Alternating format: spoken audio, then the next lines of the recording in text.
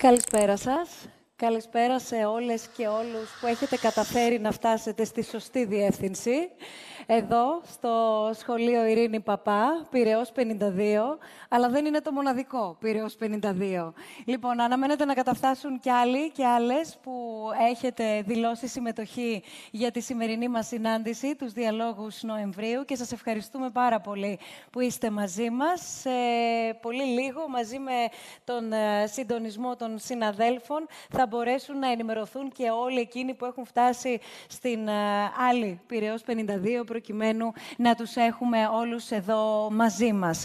Θέλω να καλωσορίσω και όλους και όλες που μας παρακολουθείτε διαδικτυακά μέσω του snf.org ε, live όπως κάθε φορά, έτσι και σήμερα είστε στην παρέα μας, είστε στη συζήτηση που πρόκειται να ανοίξουμε. Μία συζήτηση με δύο ανθρώπους, δύο επαγγελματίες, δύο προσωπικότητες που συγκεντρώνουν πάρα πολύ μεγάλο ενδιαφέρον. Πριν τους παρουσιάσω, να πω ότι η σημερινή μας διοργάνωση, η σημερινή μας συνάντηση γίνεται, όπως πολύ καλά γνωρίζετε, στο πλαίσιο της πρωτοβουλίας των διαλόγων του Ιδρύματος Σταύρος Νιάρχος. Εδώ και δύο χρόνια, μάλιστα τώρα το Νοέμβριο, κλείσαμε τα δύο μας χρόνια, έχουμε γενέθλια. Και αυτό το οποίο προσπαθήσαμε από την αρχή δειλά-δειλά και στη συνέχεια πιο θαραλέα, γιατί είχαμε και έχουμε όλους εσάς και ακόμα περισσότερους στο πλευρό μας, είναι να ανοίγουμε συζητήσεις, συζητήσεις δημόσιες, ανοιχτές στον κόσμο, σε όποιον θέλει να έρθει, σε όποιον θέλει να συμμετάσχει, μαζί όμως με ομιλητές που προσκαλούμε και ανταποκρίνονται όλοι στο κάλεσμά μας, προκειμένου να συζητήσουμε ανοιχτά και χωρίς κανάρισμα, χωρίς κανένα φίλτρο, θέματα που μας απασχολούν και μας προβληματίζουν όλους μας. Έλεγα όμως ότι η σημερινή μας συνάντηση, οι διάλογοι του Νοεμβρίου του 2019, δεν μας βρίσκουν μόνους, αλλά πραγματοποιούνται σε συνεργασία με το Athens Photo World και στη συνέχεια θα έχουμε και περισσότερα να πούμε για αυτή την πολύ ιδιαίτερη πρωτοβουλία που μας συστήθηκε την περασμένη Άνοιξη και εδώ στόχος είναι να επικεντρωθούμε όλοι μας από τη δική του πλευρά ο καθένας περισσότερο ή λιγότερο γύρω από το φωτορεπορτάζ. Εξού λοιπόν και η ιδέα από τους α, α, ιδρυτές και την ψυχή του Athens Photo World να συζητήσουμε για τη φωτογραφία. Και όχι απλά για τη φωτογραφία, αλλά για το πώς είναι να φωτογραφίζεις, πώς είναι να ακολουθείς, πώς είναι να είσαι, αν είσαι, η σκιά ενός Πρωθυπουργού και εμπροκειμένου του Πρωθυπουργού της χώρας μας. Θέλω λοιπόν να καλωσορίσω εδώ κοντά μας και να ευχαριστήσω θερμά για την α, απόψινή τους παρουσία. Θα πάω με αλφαβητική σειρά, μακριά από εμάς οι ταμπέλες, οι πολιτικές και οι κομματικές. Νομίζω άλλωστε ότι και η πρωτοβουλία των διαλόγων έχει πολιτική ταυτότητα, αλλά δεν χωράει κομματικές διακρίσεις. Ο Ανδρέα Μπονέτη, καλώς ήρθες Ανδρέα και ευχαριστούμε πάρα πολύ που είσαι μαζί μας. Καλησπέρα, ευχαριστώ εγώ. Ευχαριστώ εγώ. Φωτογράφος του πρώην Πρωθυπουργού και αρχηγού βεβαίως της αξιωματικής αντιπολίτευσης, Αλέξη Τσίπρα, και ο Δημήτρης Παπαμίτσος. Ευχαριστούμε Καλησπέρα. πάρα πολύ, Δημήτρη, για την ανταπόκριση. Προσωπικός φωτογράφος του Πρωθυπουργού Κυριάκου Μητσοτάκη. Θέλω να πω ότι αυτός ο μήνας που δουλέψαμε παρέα κύλησε με πολύ μεγάλο ενδιαφέρον. Αν θέλετε και εγώ προσωπικά, αλλά και όλη η ομάδα, είχαμε πάρα πολλές απορίες. Πώς είναι να ακολουθείς έναν Πρωθυπουργό, τι ενδιαφέρον βρίσκεις σε έναν Πρωθυπουργό, τι περιμένεις ως φωτογράφος να απαθανατήσεις από κάποιες στιγμές του Πρωθυπουργού; Και βέβαια όλοι εμείς, δημοσιογράφοι και εμείς, το πώς επικεντρωνόμαστε γύρω από μία φωτογραφία, πώς πολλές φορές μία φωτογραφία καθορίζει τη συζήτηση και αυτό που λέμε την ατζέντα, αλλά και πολλές φορές πώς μας μένουν ιστορικές στιγμές, στιγμές ορόσημα, γιατί τις έχουμε ταυτίσει με μία φωτογραφία. Θέλω να θυμίσω πριν προχωρήσουμε πού μας βρίσκεται πέρα από το site μας, πέρα από τα social media, πέρα από το facebook και το youtube που μας βλέπετε live αυτή τη στιγμή. Θέλω να πω ότι μας, α, μας βρίσκεται και στο snf.org dialogues, εκεί περιμένουμε τα δικά σας διαδικτυακά μηνύματα, αλλά και στο account μας, στο account μας, account μας στο Instagram, snf org. Εκεί επίσης λαμβάνουμε μηνύματα και τοποθετήσεις, ερωτήσεις, οτιδήποτε θέλετε να συμπεριληφθεί στη σημερινή μας συζήτηση. πριν προχωρήσουμε, θέλω να, να πω ότι ενώ όπως πολύ καλά γνωρίζετε όλοι σας, οι διάλογοι δεν απευθύνουν πρόσκληση. Και δεν απευθύνουν πρόσκληση γιατί ακριβώς η ταυτότητά τους είναι προς όλους και όλες, με μια σειρά προτεραιότητας, γιατί όπως πολύ καλά ξέρετε αλλάζουμε συνεχώς χώρο, άρα θα πρέπει να μπορούμε να υποστηρίξουμε την κάθε εκδήλωσή μας. Έρχεται ελεύθερα όποιος θέλει, συμμετέχει και τοποθετείται ελεύθερα όποιος θέλει και διαφωνεί και συμφωνεί και ρωτάει ελεύθερα όποιος θέλει.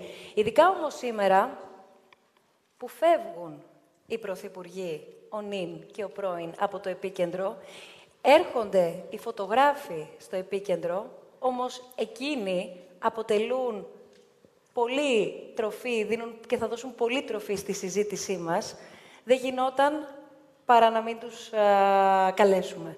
Έτσι λοιπόν, έχει προσκληθεί στη σημερινή εκδήλωση ο Πρωθυπουργός και ο Αρχηγός της Αξιωματικής Αντιπολίτευσης. Ο Πρωθυπουργός έχουμε ενημερωθεί ότι αναμένεται να είναι κοντά μας, οπότε σε λίγα λεπτά φαντάζομαι θα, θα φτάσει. Θα μου επιτρέψετε να μεταφέρω ένα μήνυμα, το οποίο στέλνει από την πλευρά του ο πρόεδρος του Ιδρύματος Σταύρος Νιάρχος, κύριος Ανδρέας Δρακόπουλος. Δεν βρίσκεται σήμερα κοντά μας. Έτσι λοιπόν σημειώνει ότι τόσο προσωπικά όσο και εκ μέρους όλων μας το Ίδρυμα Σταύρος Νιάρχος, θέλω να ευχαριστήσω τον Πρωθυπουργό Κυριάκο Μητσοτάκη και τον πρώην Πρωθυπουργό και αρχηγό της αξιωματικής αντιπολίτευσης Αλέξη Τσίπρα, που αποδέχθηκαν την πρόσκλησή μας για τη σημερινή εκδήλωση των διαλόγων. Ζούμε σε ένα περιβάλλον τόσο εγχώρια όσο και σε παγκόσμια κλίμακα, οξίας πόλωσης. Μια πόλωση που, να το πω απλά, δεν οδηγεί σε ευχάριστα αποτελέσματα για κανέναν μας. Μια πόλωση που πρωτίστως αντιμετωπίζεται με την επικοινωνία και με τον συνεχή διάλογο, όσο εύκολα ή δύσκολα και αν είναι τα οποιαδήποτε θέματα που όλοι μας καλούμαστε να διαχειριστούμε στην καθημερινότητά μας. Το σημερινό θέμα, θα έλεγα με αρκετή σιγουριά, ότι συγκαταλέγεται στα εύκολα. Ευχαριστούμε λοιπόν όλους εσάς που συνεχίζετε και μας τιμάτε με την παρουσία σας κάθε μήνα στους διαλόγους του Ιδρύματος Σταύρος Νιάρχος, είτε αυτοπροσώπως είτε διαδικτυακά. Με τη δική σας παρουσία ενδυναμώνετε το θεσμό του διαλόγου ως πρωταρχικό μέσο για μια καλύτερη και πιο όμορφη κοινωνία για όλους μας. Σας ευχαριστούμε πολύ. Αυτό το, το μήνυμα εκ μέρους του Προέδρου του Ιδρύματος Σταύρος Νιάρχος, Ανδρέα Δρακόπουλου.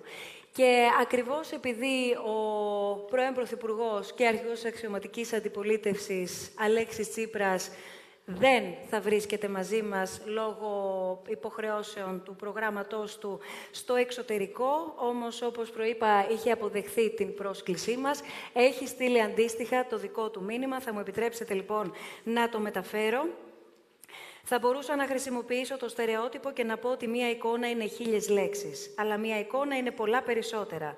Είναι συναισθήματα, ένταση, αγωνία, χαρά, θλίψη, προσδοκία, είναι ενέργεια, δύναμη ή και κούραση, είναι αποκαλυπτική και επικοινωνιακή, είναι η στιγμή που σε καθορίζει, η στιγμή που αποτυπώνει αυτό που χαράσεται ανεξίτηλα και οριοθετεί τη μνήμη.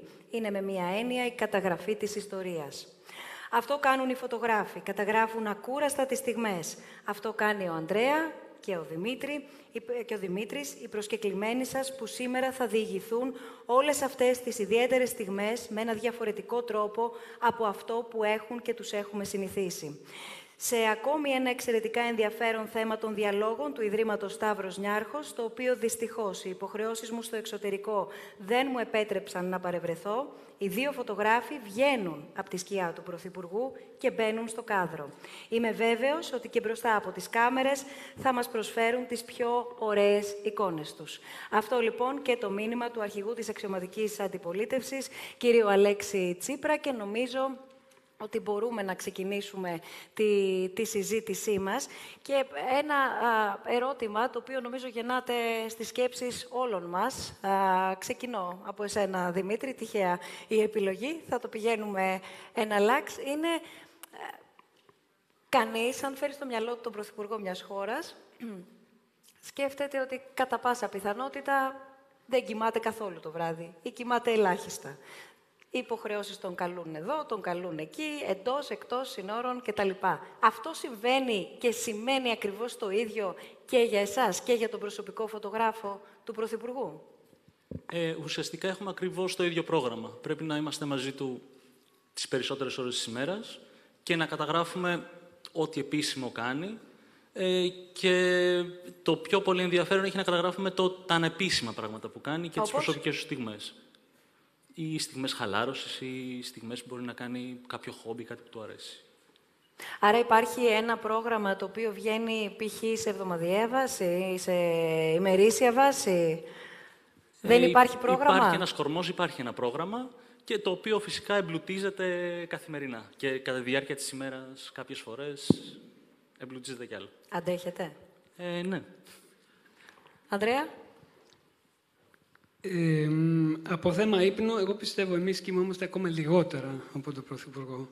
Γιατί είμαστε συνέχεια ε, ε, on call. Δηλαδή, μπορούμε να είμαστε στο Παρίσι και να περιμένουμε, αλλά δεν ξέρουμε ακριβώς πότε ξεκινάνε και πότε τελειώνουν. Τότε πρέπει να είμαστε ακόμα ε, έτοιμοι από πολύ πιο νωρίς και μέχρι αργά. Τότε είμαστε και έχουμε και ένα άγχος που δεν, δεν μπορούμε και να κοιμηθούμε τόσο εύκολα. Με, ξέροντας ότι έχουμε αμέσως μετά να τρέχουμε και να είμαστε σούπερ ε, έτοιμοι. Ε, τότε ε, και από την άλλη φυσικά την οικογένεια μου δεν την έβλεπα και πάρα πολύ τα τελευταία ιδιαίτερα, όχι.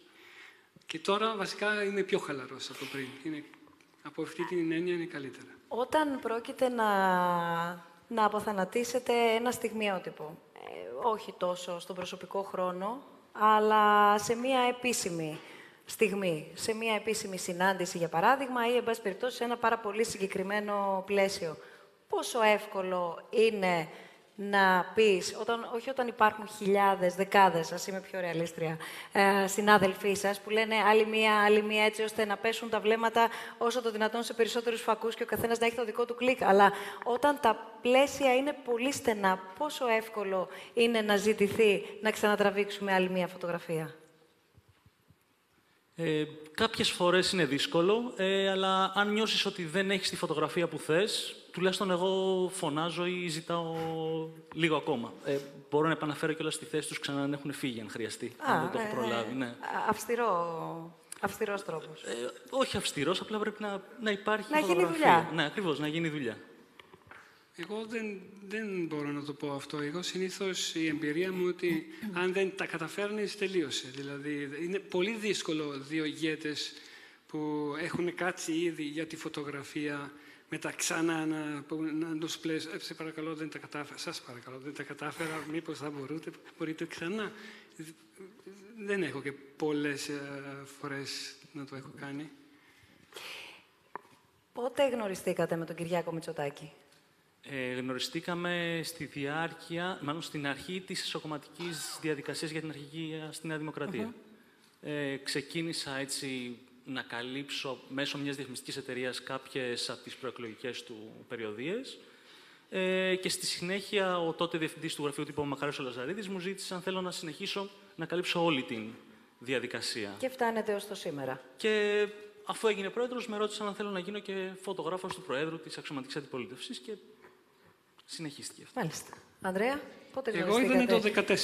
Το 14, Με τον Αλέξη Τσίπρα το 2014, ναι, μάλιστα. Το, ο Μάιος που είχαν, ήταν οι εκλογές, οι ευρωεκλογές. Και τότε με φωνάξανε για πρώτη φορά και κάλυψα. Εντάξει, θα το πω μάλλον αργότερα. Απλώς εγώ προέρχομαι από άλλο ένα. Εκεί, εκεί θα πάμε αμέσως μετά. Γιατί Απλώς, έχει ενδιαφέρον ε... πέρα από το πού βρίσκεστε σήμερα, από πού έχει ξεκινήσει και τι background είχε ο καθένας από ναι, ναι. εσάς. Ναι, θα το πούμε αργότερα. Απλώς ναι, τότε το 2014 ε, κάλυψα την, την προεκλογική και μετά ξανά το Γενάρη του 2015. Και όταν βγήκε ο Πρωθυπουργός, μου ζήτησε αν θέλω να κάτσω ως φωτογράφος του και φυσικά είπα ναι.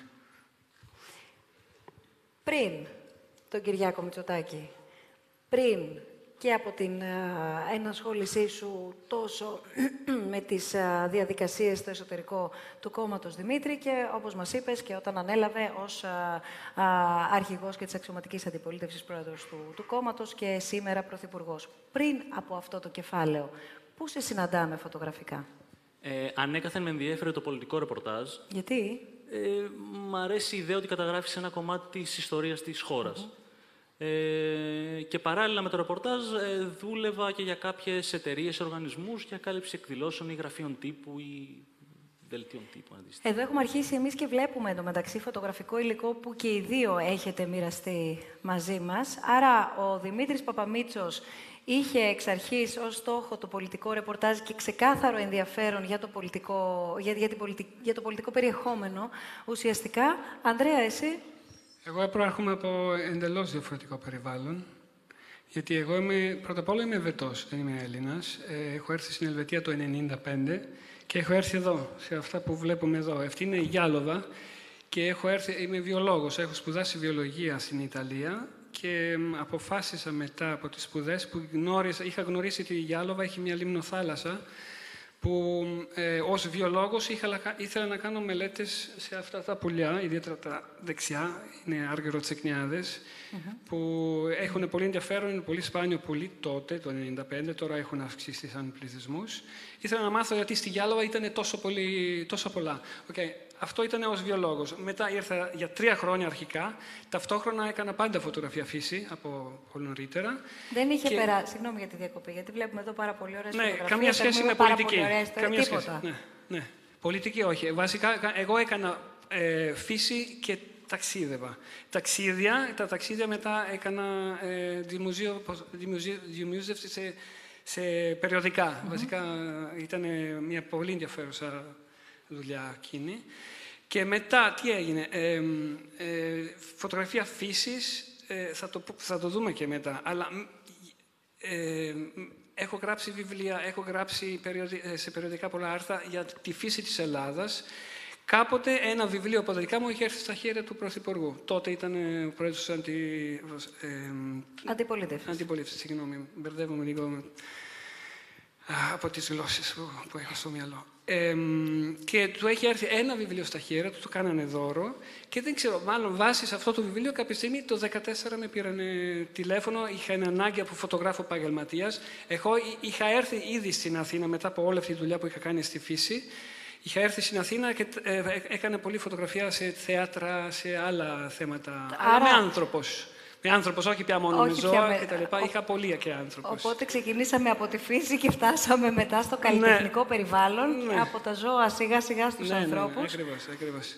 Πολύ ρομαντικά ακούγονται όλα αυτά για να καταλήξουμε μετά στην πολιτική. Ε, ναι, λι- μα εγώ είμαι γενικά λίγο περίεργος σε, σε πολλά. Ε, Συγγνώμη, αλλά πρέ- πρέπει να το πούμε. Και ναι, ε, μετά, ε, μάλλον τους αρέσανε πάρα πολύ η δουλειά που έκανα, τις φωτογραφίες και τότε με πήραν τηλέφωνο.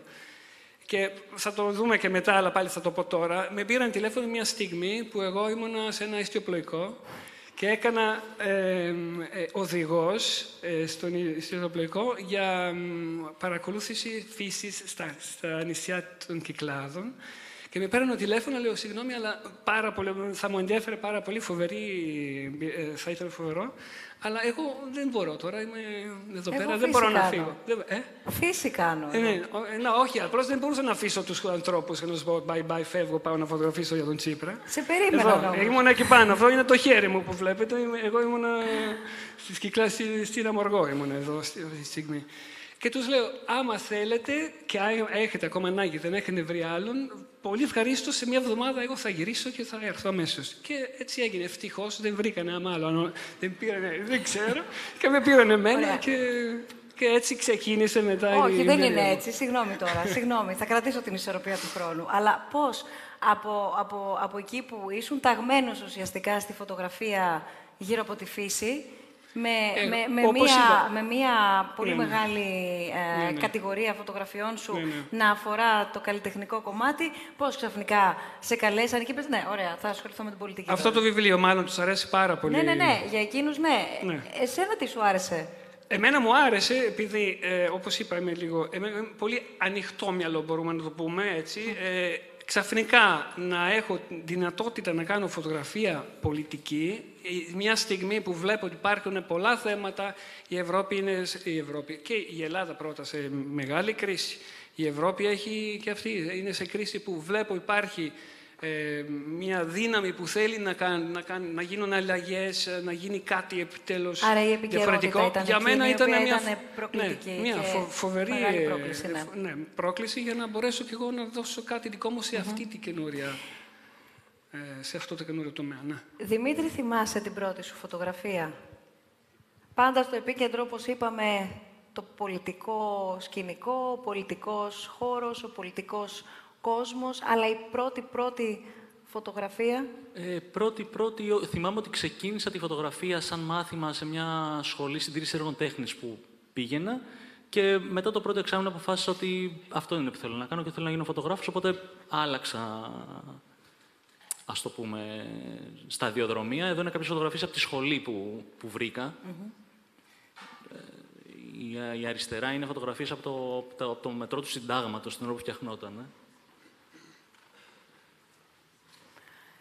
Λοιπόν, αφού βλέπουμε εδώ το, το background του καθενός επαγγελματικά, είπαμε από το πολιτικό συνεχώς ε, περιεχόμενο να βρίσκεται στο επίκεντρο του, του Δημήτρη, η έντονη εναλλαγή, ξεκινώντας όμως από την αγάπη του για τη φύση του, του Ανδρέα, φτάνουμε και σας συναντούμε τους, και τους δύο ως προσωπικούς φωτογράφους του Πρωθυπουργού του νυν και του, του πρώην.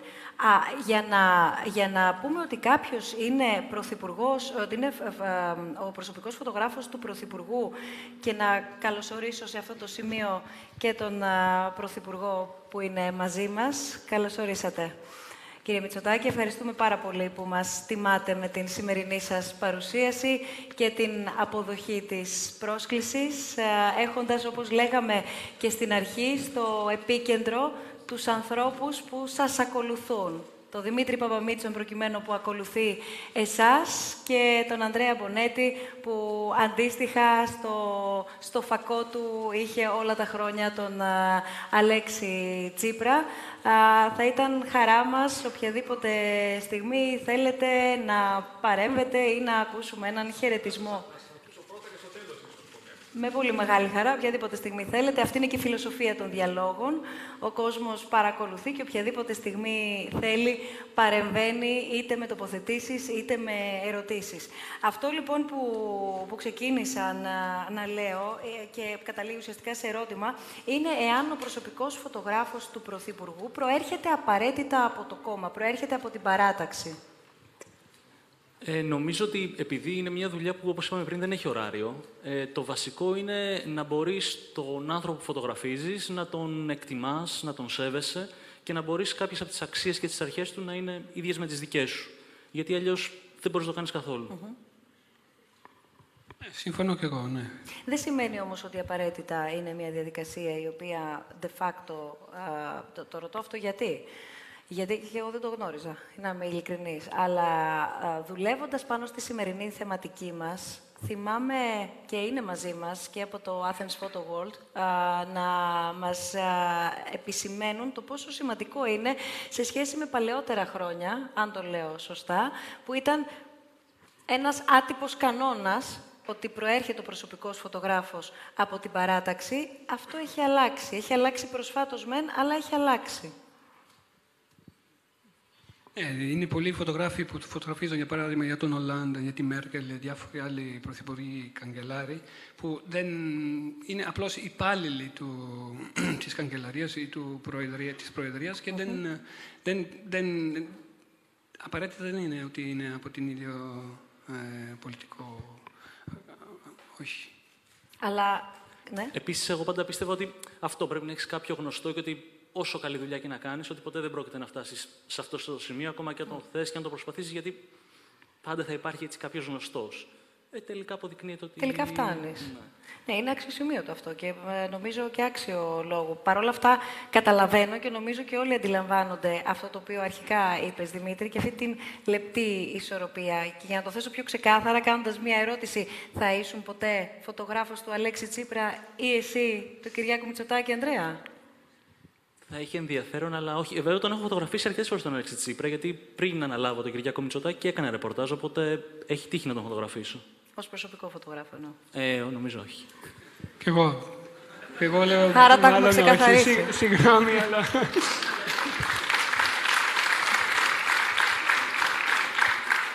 Ποια είναι η, η σημασία της φωτογραφίας, χωρίς να κάνω τώρα έτσι μία αφελή γενικόλογη ερώτηση, αλλά εσείς θέλω το σχόλιο σας το πώς αντιλαμβάνεστε τη δύναμη ουσιαστικά της φωτογραφίας και έτσι όπως τη βλέπουμε πολλές φορές όχι μόνο να μονοπολεί στην επικαιρότητα, να, να μονοπολεί στα μέσα ενημέρωσης ή στα μέσα κοινωνικής δικτύωσης, για τα οποία θα συζητήσουμε και πιο στοχευμένα στη συνέχεια. Πολλές φορές όμως βλέπουμε ότι ενώ γνωρίζουμε, ακόμα και εμείς οι ίδιοι δημοσιογράφοι, γνωρίζουμε ότι ένα γεγονός πρόκειται να συμβεί, μια συνάντηση, για παράδειγμα, α, μια α, σύσκεψη, μια σύνοδος κτλ. Ειδικά τα τελευταία χρόνια γίναμε όλοι εξπέρ σε όλα αυτά τα, τα διαδικαστικά και τα προγραμματικά. Παρόλα αυτά βλέπουμε ότι πολλές φορές αφήνουμε, αφήνουμε πληροφορίες στην άκρη και θέλουμε να επικεντρωθούμε και να σχολιάσουμε μια φωτογραφία. Μάλιστα πολλές φορές βλέπουμε να καλούνται και επιστήμονες σε μέσα ενημέρωσης οι οποίοι αναλύουν αυτό και το, μάλλον τον τρόπο με τον οποίο απεικονίζεται η οποιαδήποτε προσωπικότητα εκείνη την ώρα α, σχολιάζεται σε μια φωτογραφία. Άρα, πώς θα σχολιάζατε τη δύναμη της φωτογραφίας ως προς το πώς καθορίζει την επικαιρότητα; Ε, σίγουρα, α, σίγουρα μια φωτογραφία έχει πολύ δύναμη. Ε, σημασία έχει να μπορέσει να ευαισθητοποιήσει τον κόσμο κάποιες φορές ή να ενημερώσει, αλλά να ενημερώσει σωστά και να είναι, ας το πούμε, αντικειμενική. Ε, και επειδή στη δικιά μας τη δουλειά απαγορεύεται να κάνουμε κάποια επεξεργασία ώστε να αλλοιώσουμε ή ε, ουσιαστικά καταγράφουμε την ιστορία, όπως είπα, πρέπει να κάνουμε αυ- απλώς αυτό ίσως, να καταγράψουμε τις στιγμές χωρίς να τις επηρεάζουμε. Επειδή το δέχθηκα αυτό το ερώτημα τις προάλλες από συναδέλφους, δημοσιογράφους, μιας και θα συζητήσετε, μου λέγανε, αυτό το θέμα με αυτούς τους δύο α, επαγγελματίες, δεν γίνεται καμία, καμία επεξεργασία; Ε, από τη δικιά μου την πλευρά όχι και απαγορεύεται κιόλας. Δηλαδή είναι Και τώρα δεν, αντιδιολογικό δεν να μιλώ να γίνει. εξαφανίσουμε πρόσωπο, τα έχουμε δει και αυτά. Όχι, απαγορεύεται. Δεν, δεν εννοώ Δηλαδή, αυτό. Όχι, όχι, εννοώ λίγο τα φίλτρα, αυτά που κάνουμε όλοι όχι, μας όχι, δηλαδή. όχι, ποτέ, ποτέ, ποτέ. Όχι. Όχι. Όχι, όχι. όχι. Σίγουρα. όχι, πραγματικά δεν μπορείς. Φαντάσου τώρα να είμαστε τώρα σε μια θέση που ξαφνικά φαίνεται ότι έχει κάνει ένα Photoshop. Ιδιαίτερα τώρα αν είσαι έναν πρωθυπουργό που θα δούμε και μια φωτογραφία που, που ε, έχει μια εφημερίδα που γράφει ένα, ε, μόνος εναντίον, αλ- εναντίον όλων.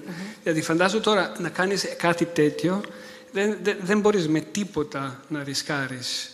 Και τότε είναι κάτι που διοντολογικά δεν, δεν, δεν, δεν το κάνουμε ποτέ. Έχετε ξεχωρίσει, γιατί τώρα είναι περιττό νομίζω και ε, μ, για, την, ε, για, για τα χρόνια που σας συναντούν από κοινού να ασχολείστε ως α, προσωπικοί φωτογράφοι των δύο πια προσωπικότητων. Εδώ αυτή η φωτογραφία ποιανού είναι που βλέπουμε; Βρυξέλλες δική μου, 12 Ιουλίου, το βράδυ εκεί Που ήταν ήμουν. όλοι, όλοι ήμασταν σε αυτή Όλοι, την κατάσταση όλοι εκείνη εσείς τη μέρα. είστε εκεί πέρα έτσι. Έτσι ήμασταν. Όλοι. Δυστυχώς, ναι. Κάποια στιγμή, όχι όλο το βράδυ, αλλά κάποια στιγμή κατέβηκα εγώ να δω τι γίνεται κάτω και όχι μόνο από την Εσύ ελλη- πώς ελληνική άντεξες; πλευρά. Εγώ, όπως είπαμε πριν, δεν μπορούμε να κοιμηθούμε. Εμείς πρέπει να είμαστε συνέχεια Δεν σε έχει alert. φωτογραφίσει κανένας σε ένα κάποιο... Ειδικά εκείνη η μέρα. Τι, τι; Ειδικά εκείνη Ναι. την ημέρα. Άντεξες όλες αυτές τις ώρες. Ναι, ναι, φυσικά. Δεν μπορείς. Δεν μπορεί... Πρέπει να... Γιατί κάποια στιγμή, ανά πάση στιγμή, θα τελειώσει η σύνοδο. Και θα βρεθεί. Δεν ξέρω. Αυτό λέγαμε κι εμείς. Κάποια ναι. στιγμή θα τελειώσει. Ναι, Πού αλλά θα κάποια πάει; στιγμή οι άλλοι δεν αντέχουν. Εγώ έπρεπε να είμαι συνέχεια stand-by. Δεν μπορείς να μην είσαι stand-by. Δεν πρέπει, γιατί στη στιγμή που τελειώνει πρέπει να είσαι εκεί να καταγράφεις οτιδήποτε συμβαίνει. Φυσικά μπορεί και να μην χρειαστεί πολλές φορές. Περιμένεις τζάμπα, γιατί στο τέλος δεν θέλουν να βγάλεις φωτογραφίες εκείνη τη στιγμή για χίλιου δύο λόγους. Αλλά εσύ δεν μπορεί. Αλλιώς. Γιατί να σε έχουν. Κάνεις τόσα ταξίδια, τόσα έξοδα και ξαφνικά. Ω, κοιμάται ο Μπονέτη. Ε, όχι, δεν γίνεται. Ε, δεν γίνεται. Το γράφεις πάντως αυτό το πόστο για πολλούς λόγους στο βιογραφικό σου μετά. Αυτό καταλαβαίνω. Προφανώς για, για το πόσο σημαντικό, εξαιρετικό και ιδιαίτερο είναι το να έχεις στην καριέρα σου υπάρξει ο προσωπικός φωτογράφος του Πρωθυπουργού, αλλά και για μία σειρά άλλων παραγόντων στους οποίους έχεις καταφέρει να, να ανταποκριθείς και να ανταπεξέλθεις. Αυτό που ήθελα να ρωτήσω είναι ότι δεν θα μπω καν στη διαδικασία στη σημερινή μας συζήτηση να ανατρέξω σε γεγονότα ορόσημα των τελευταίων ετών. Νομίζω όλοι εδώ μέσα και όλες μας τουλάχιστον κατεβάζουμε 20 γεγονότα στο δευτερόλεπτο. Είτε έχουν να κάνουν με τα χρόνια λίγο πριν αναλάβει ο ΣΥΡΙΖΑ, είτε όταν ανέλαβε ο ΣΥΡΙΖΑ, είτε από τις ε, εκλογές που έχασε ο ΣΥΡΙΖΑ και ανέλαβε η Νέα Δημοκρατία. Αυτό το οποίο θέλω να ρωτήσω, γιατί το επίκεντρό μας δεν είναι η Νέα Δημοκρατία και ο ΣΥΡΙΖΑ, αλλά είναι ο Δημήτρης Παπαμίτσος και ο Ανδρέα Πονέτη. Έχετε εσείς για κάποιο λόγο ξεχωρίσει για τον οποιοδήποτε λόγο, είτε θετικά, είτε αρνητικά, είτε επειδή ήρθατε αντιμέτωποι με μία ή πολλές προκλήσεις και για τους δικούς σας λόγους ξεχωρίζετε κάποια στιγμή που εμείς την ξεχωρίζουμε γιατί την έχουμε ξεχωρίσει συνολικά ως χαρακτηριστική. Ναι. Ε, για μένα η πιο έτσι, σημαντική και χαρακτηριστική, ίσως πιο δύσκολη μέρα στη δουλειά ήταν η κηδεία του Κωνσταντίνου Μητσοτάκη, που έπρεπε να, ουσιαστικά να καλύψει ένα ιστορικό γεγονός, αλλά παράλληλα να, να είσαι εκεί χωρίς να ενοχλείς το πένθος μιας οικογένειας. Ε, επίσης, πολύ σημαντική στη μνήμη μου είναι η μέρα της νίκης στις εσωκομματικές εκλογές. Με πολύ συγκίνηση και πολύ χαρά για μια διαδικασία που δεν ξέραμε έτσι που θα καταλήξει. Άρα είναι η πιο δύσκολη ναι. και η πιο, ευχάριστη, ναι, ναι, αντίστοιχα. Α, πριν α, μας απαντήσεις την ίδια ερώτηση, Ανδρέα, μοιράζεστε τα συναισθήματα;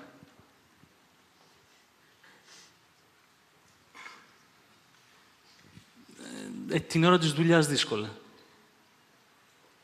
Έχει ενδιαφέρον με τα όρια πώς μπαίνουν και, και βγαίνουν. Και θα, θα έρθουμε σε αυτό στη συζήτησή μας, γιατί έχει ενδιαφέρον ε, το που όταν εσείς μας το είπατε, δύο άνθρωποι και ένα ολόκληρο βέβαια επιτελείο, αλλά δύο άνθρωποι η μεν προσωπικότητα, αλλά και εσείς που τους ακολουθείτε και στο επίκεντρό σας, έχετε, αν μη τι άλλο, προφανώς ένα θεσμό, αλλά έναν άνθρωπο, Οπότε εκεί παράλληλα αρχίζει και λειτουργεί και σε αυτό το, το επίπεδο αυτή η συνύπαρξη και η συνεργασία.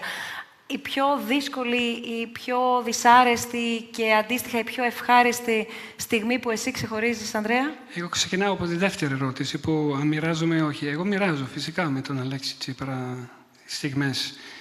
Ε, γιατί έχουμε περάσει, εντάξει, εμείς τώρα τέσσερα χρόνια σχεδόν πέντε, αλλά έχουμε περάσει πάρα πολλά, ιδιαίτερα διαπραγμάτευση, όλα αυτά, πρέσπα. Ε, και, Είχες πάει νωρίτερα στις πρέσπες; Είχα πάει; Νωρίτερα ναι, είχες πάει στις πρέσπες. Ναι, έχω πάει πολλές φορές. Γιατί για μένα ήταν και άλλο, ε, ήταν πάρα πολύ ωραίο να είμαι εκεί πέρα μαζί με, εντελώς με άλλο ε, γκρουπ, ας πούμε, ανθρώπων, γιατί πριν πήγαινα με ανθρώπους που, σαν και εμένα, θέλαμε να φωτογραφίσουμε πουλιά, φύση; κτλ. Και ήταν πολύ ωραίο, ιδιαίτερα να είμαι πάνω στο σκάφος με τον Τσίπρα, με τον Ζάεφ και πηγαίναμε από, την, από, το, από τους ψαράδες προς την πλευρά της Βόρεια Μακεδονίας και ήμασταν μόνο ε, οι δύο, η Μογερίνη και κάποιος άλλος που δεν, ξέρω, δεν θυμάμαι, και οι δύο φωτογράφοι και εγώ τους έδειχνα και πελεκάνους, τα λοιπά, δεν υπάρχει αυτό. Και, αλλά θέλω να πω, στη στιγμή που, ε, που ήμασταν ε, σε, σε, σε οι, οι, οι ιδιαίτερες ε, στιγμές δύσκολες, εγώ αισθάνομαι και εγώ αυτό που μπορεί να αισθάνεται. Ε, έχουμε δει κάποιες φωτογραφίες ε, έξω από το γραφείο του Juncker. Πάλι ήταν μία εβδομάδα πριν από τη 12 Ιουλίου που βλέπουμε ότι υπάρχει πολλή ένταση από τη δική μας πλευρά. Ε, εσύ, το, το, ε, εγώ μπορεί να είμαι εγώ, αλλά το αισθάνομαι πολύ δυνατά αυτό κι εγώ. Και φαίνεται από τις φωτογραφίες μου. Πιστεύω, ε, έχω επιλέξει φωτογραφίες που φαίνονται πολύ ε, ε, προβληματισμένοι οι διάφοροι υπουργοί, ο ίδιος ο Αλέξης Τσίπρας. Ε, αλλά άλλες στιγμές που είμαστε προεκλογικά, ας πούμε, που βλέπω αυτές τις φοβερές αγκαλιές, Εκεί αισθάνεσαι, όπως σίγουρα αισθάνεται ο ίδιος, και εγώ αισθάνομαι πολύ, πολύ χαρά εκείνη τη στιγμή. Αισθάνομαι ότι υπάρχει κάτι ζεστό, κάτι που και δεν είσαι έτοιμος, πολλές φορές δεν ξέρεις τι συμβαίνει. Και είναι πολύ, φυσικά είναι πάρα πολύ ωραίο. Ε, τότε ναι, ε, ε, η πρώτη ερώτηση ήταν... Η πιο δύσκολη ή η πιο προκλητική στιγμή και η πιο ευχάριστη αντίστοιχα. Εντάξει, αυτές τις στιγμές ε, στις Βρυξέλλες, πολύ δύσκολες, mm-hmm. ευχάριστες, ε, ναι, σε, όταν είμαστε σε επαφή με κόσμο. Βασικά ένα πράγμα που εγώ πιστεύω ξεχωρίζει τον Αλέξη Τσίπρα είναι ότι είναι πάρα πολύ ζεστός άνθρωπος. Όλοι μου, μου λένε, αλλά πώς είναι ο Τσίπρας από κοντά, πώς είναι; Εγώ λέω πάντα αυτό. Ο Τσίπρας είναι ένα άνθρωπο, πολύ απλό άνθρωπος και ε, πολύ ζεστός. Δηλαδή, όταν, όταν αγκαλιάζει, όταν, όταν έρχεται σε επαφή με τον απλό το κόσμο, πραγματικά το εννοεί αυτή την αγκαλιά. Και εγώ το αισθάνομαι εκείνη τη στιγμή και, και φυσικά χαίρομαι πάρα πολύ. Τότε είναι πολύ ευχάριστες αυτές τις στιγμές που ο κόσμος ε, είναι ζεστός και είναι, είναι σαν μην... Και πιο προσωπικές, λίγο. Ναι. Προσωπικές, ναι, OK, okay, προσωπικές, όχι πάρα Δεν πολύ. είναι μόνο ένα χαρμόσυνο γεγονός, ενώ είναι κάτι που αισθάνεσαι και εσύ ως άνθρωπος. Ναι, οκ. Αυτό, αυτό Ναι. κατανοώ. Όταν σε ρωτάνε, Δημήτρη, φαντάζομαι σε ρωτάνε. Όποιος ακούει και δεν γνωρίζει τι δουλειά κάνεις και ακούει, θα σε ρωτάει πώς είναι ο Κυριάκος Μητσοτάκης, πώς είναι η ζωή σου, πώς είναι να κάνεις αυτό το επάγγελμα. Σε ό,τι αφορά στο πρώτο ερώτημα, πώς είναι ο Κυριάκος Μητσοτάκης, επειδή ακούσαμε το αντίστοιχο, α, την αντίστοιχη τοποθέτηση του Ανδρέα και τα άλλα δύο τα είπαμε στην αρχή, πώς απαντάς; Ε, είναι ένας πολύ ευγενικός άνθρωπος. Ε, πολύ ζεστός επίσης με τον κόσμο. Δηλαδή, νομίζω ότι το βλέπουμε και στη φωτογραφία. Ε, όταν είναι με κόσμο, είναι πραγματικά άλλος άνθρωπος και όταν είναι μαζί με παιδιά, όταν είναι- έχει πολύ ενδιαφέρον για τη φύση, για τα ζώα, για το... Ε, ένας πάρα πολύ ζεστός άνθρωπος. Οι φωτογραφίες που βλέπουμε καθημερινά στις εφημερίδες, στα δελτία ειδήσεων, ε, φωτογραφίες που βλέπουμε εδώ και μας έχετε σήμερα φέρει και τις παρουσιάζουμε αποκλειστικά και μόνο για την εκδήλωσή μας, είναι φωτογραφίες που επιλέγετε εσείς. Ε, σίγουρα γίνεται μια πρώτη επιλογή από εμένα και έχει γίνει μια προεργασία πριν που θέλουμε να εστιάσουμε ανάλογα με την επικαιρότητα. Ε, σίγουρα από τη δικιά μου πλευρά υπάρχει μια πιο τεχνική, καλλιτεχνική και συναισθηματική ματιά. Ε, και από εκεί και πέρα υπάρχει μια ομάδα, υπάρχει η κυρία Κάπη που κάνει πάντα την τελική επιλογή για το τι θα φύγει προς τα έξω. Επικοινωνιακά δηλαδή, Βέβαια, πια μετά. οι πιο σημαντικές φωτογραφίες είναι αυτές οι φωτογραφίες που βγαίνουν σε προσωπικές στιγμές και που συνήθως δεν τις βλέπει κανένας. Δηλαδή είναι οι πιο ωραίες και έχουν το πιο πολύ ενδιαφέρον. ε, Είναι στο η παράπλευρα σε αυτό που- που βλέπουν όλοι, ας το πούμε.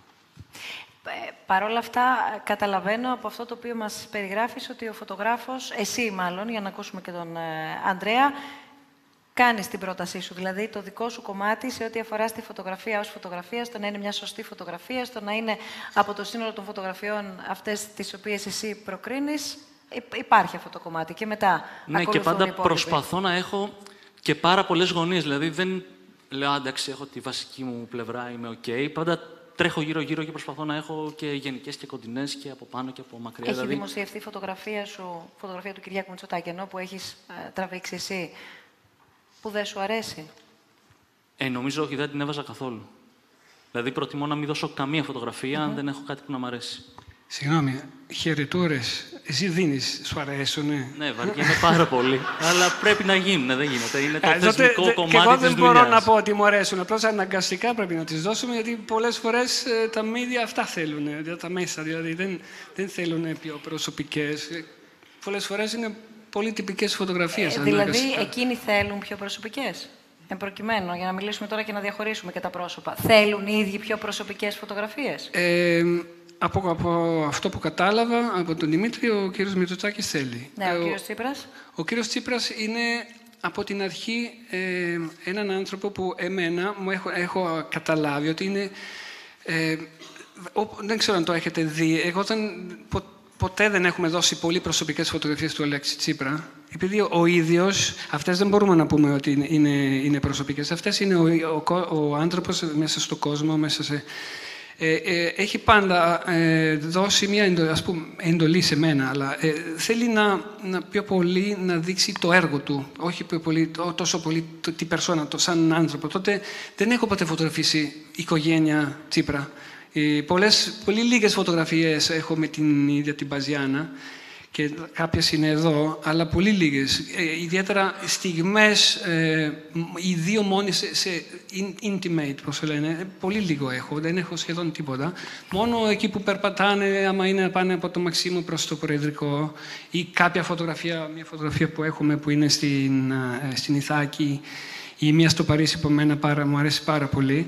Αλλιώς ποτέ δεν είχα στιγμές έτσι προσωπικές για τον Αλέξη, γιατί ο ίδιος μου έχει πει δεν, δεν χρειάζεται, δεν θέλω εγώ τέτοιες φωτογραφίες. Εγώ θέλω να δείξω, δε- δείξω αυτό που κάνω πιο πολύ, όχι εμένα.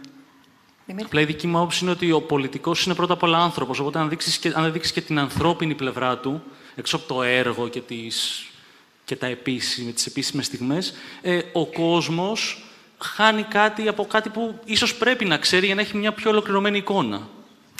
Αυτό που ε, όσο σας ακούω, γιατί έχει πολύ μεγάλο ενδιαφέρον, από τη μία ακούσαμε την ουσιαστικά κατεύθυνση, αν μπορούμε να το πούμε έτσι, από την πλευρά του πρώην Πρωθυπουργού. Από την άλλη, ακούσαμε τη δική σου κατεύθυνση, προσέγγιση, από την πλευρά του φωτογράφου.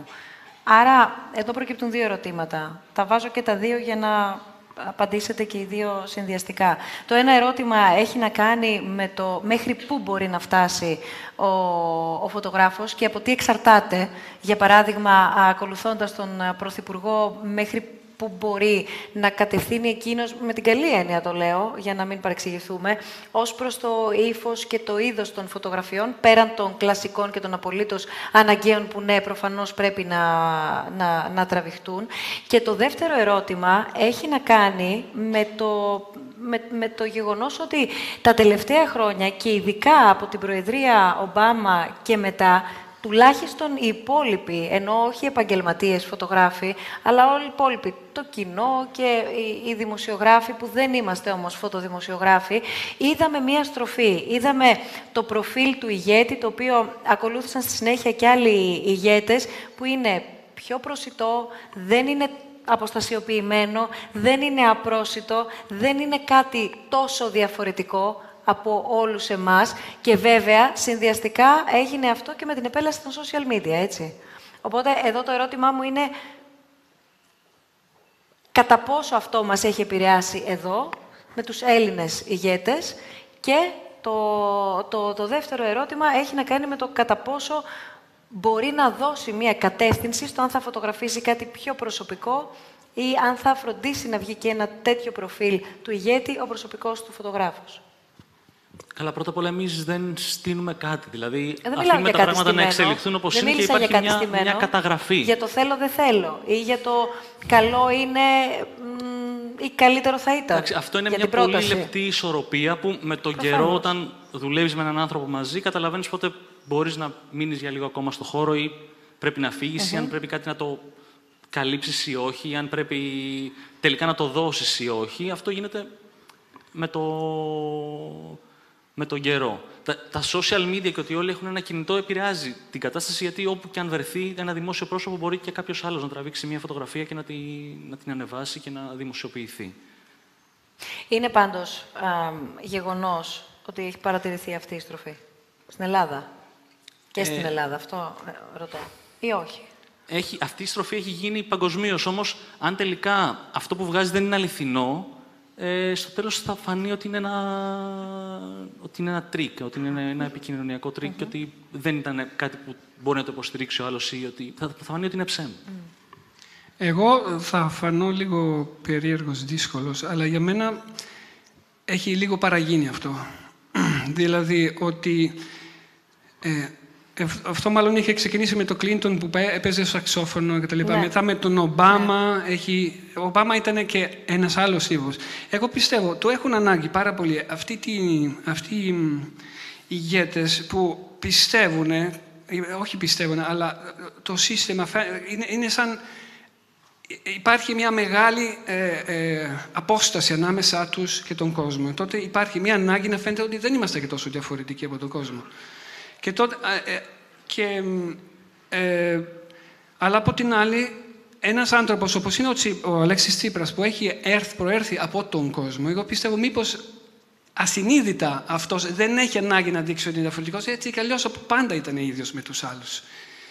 Καταλαβαίνετε τι θέλω να πω; Και αυτός μάλλον ασυνείδητα... Ναι, καταλαβαίνω, αλλά ο αντίλογος δεν, δεν φαίνεται να, να έχει... είναι ότι ο, όλοι μας, ο καθένας από εμάς είμαστε ίδιοι με τον άλλον.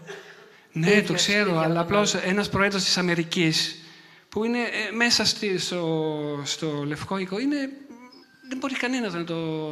Εδώ στην Ελλάδα δηλαδή είναι σύνηθες να συναντά κανείς τον Πρωθυπουργό; Όχι, εδώ στην Ελλάδα είναι διαφορετικά. Στην Ελλάδα είναι. Μα πάντα, ε, εγώ, συγγνώμη, Ελβετός είμαι και έχω επιλέξει να ζήσω στην Ελλάδα. Στην Ελλάδα της κρίσης. Δηλαδή δεν έβγαζα λεφτά, γιατί με φωτογραφία φύση δεν μπορείς να βγάζεις λεφτά. Έχω επιλέξει παρόλο αυτά να μείνω στην Ελλάδα. Γιατί, γιατί ο Έλληνας έχει, έχει κάτι εδώ που πολύ δύσκολα βρίσκει σε άλλες χώρες της Βόρεια Ευρώπης, της Κεντρικής Ευρώπης, ακόμα και Αμερικής. Κάτι... Και όλοι οι άνθρωποι που έχω γνωρίσει εδώ στην Ελλάδα, εγώ δεν ξέρω τον κύριο Μητσοτάκη, δεν ξέρω προσωπικά, αλλά βλέπω ότι αυτοί οι άνθρωποι έχουμε, έχουν κάτι, έχετε κάτι ε, ως Έλληνες που είναι πιο προσιτό, πιο εύκολο. Υπάρχει... Και εμένα μου αρέσει πάρα πολύ αυτό. Και αυτό εγώ πιστεύω φαίνεται, και φαίνεται σε όλη την καθημερινότητα. Και αυτό είναι, είναι πολύ σημαντικό για... Ε, για την... Αχ, τώρα έχω λίγο... Καταλαβαίνετε, θέλω να πω, πιστεύω. Να, γιατί... να βοηθήσω λίγο και να κάνω Ναι. δύο ερωτήσεις, ακούγοντας αυτό το οποίο μας περιγράφεις, Ανδρέα, και οι ερωτήσεις είναι και προς τους δύο. Το επάγγελμα του φωτογράφου ε, γνωρίζουμε ότι, ή μάλλον δεν γνωρίζουμε, πείτε μας εσείς, πληρώνετε καλά; Αντικειμενικά. Τι ερώτηση είναι αυτή; Αντικειμε... Αντικειμενική. Αντικειμενικά νομίζω όχι. Συγγνώμη, δουλεύουμε 24 ώρες ε, την ημέρα, 7 μέρες, ε, γιατί διακοπές πηγαίναμε, ευτυχώς αν πάει και ο διακοπές ο Πρωθυπουργός, γιατί αν δεν πάει διακοπές δεν πάμε ούτε εμείς διακοπές. Στις διακοπές πηγαίνετε μαζί; Ε, όχι, ευτυχώς όχι. Δηλαδή, με, με τίποτα. Γιατί τι διακοπές θέλω να πάω με την οικογένεια μου μακριά, όσο μακριά γίνεται. Στην Συγγνώμη. Ελλάδα όμως. Στην Ελλάδα, ναι. Δεν... Μην συμβεί και τίποτα έκτακτο. Συγγνώμη, με το μισθό που παίρνουμε δεν βγαίνουμε έξω. Σίγου- Και σίγουρα στην... όχι στην Ελβετία. Όχι, πραγματικά θέλω να πω ότι ε, θα έπρεπε να πάρουμε πολύ περισσότερα λεφτά για το χρόνο που δίνουμε. Αλλά το δίνουμε γιατί το πιστεύουμε. Ένα ερώτημα επίσης, το οποίο έχει έρθει τις προηγούμενες ημέρες, το βάζω στη, στη συζήτηση, είναι το από πού πληρώνεστε. Καλά, μην μας πείτε τώρα διαδικαστικά, αλλά θέλω να πω, υπάρχει επίσημα αυτή η θέση, η- ο προσωπικός φωτογράφος του Πρωθυπουργού; Νομίζω ναι. Τι νομίζεις; εγώ, όταν ήμουν εγώ, εγώ, όχι, ε, εγώ, εγώ ήμ- ε, ήμουνα στο, ως ε, επίσημο φωτογράφος, αλλά όχι στο Μαξίμου, στη γραμματεία ενημέρωσης. Εκεί εγώ άνοιγα, όχι στο, στο Μαξίμου. Δεν ξέρω εσύ, δεν έχω ποτέ ρωτήσει που είσαι. Ναι, εγώ θεωρούμε επίσημα, ναι. Από το Μαξίμου είναι φωτογράφος πρωθυπουργού. Είναι απίστευτο το ότι έχουν εξαιρετική σχέση μεταξύ τους. Είναι, εντάξει, και γιατί όχι.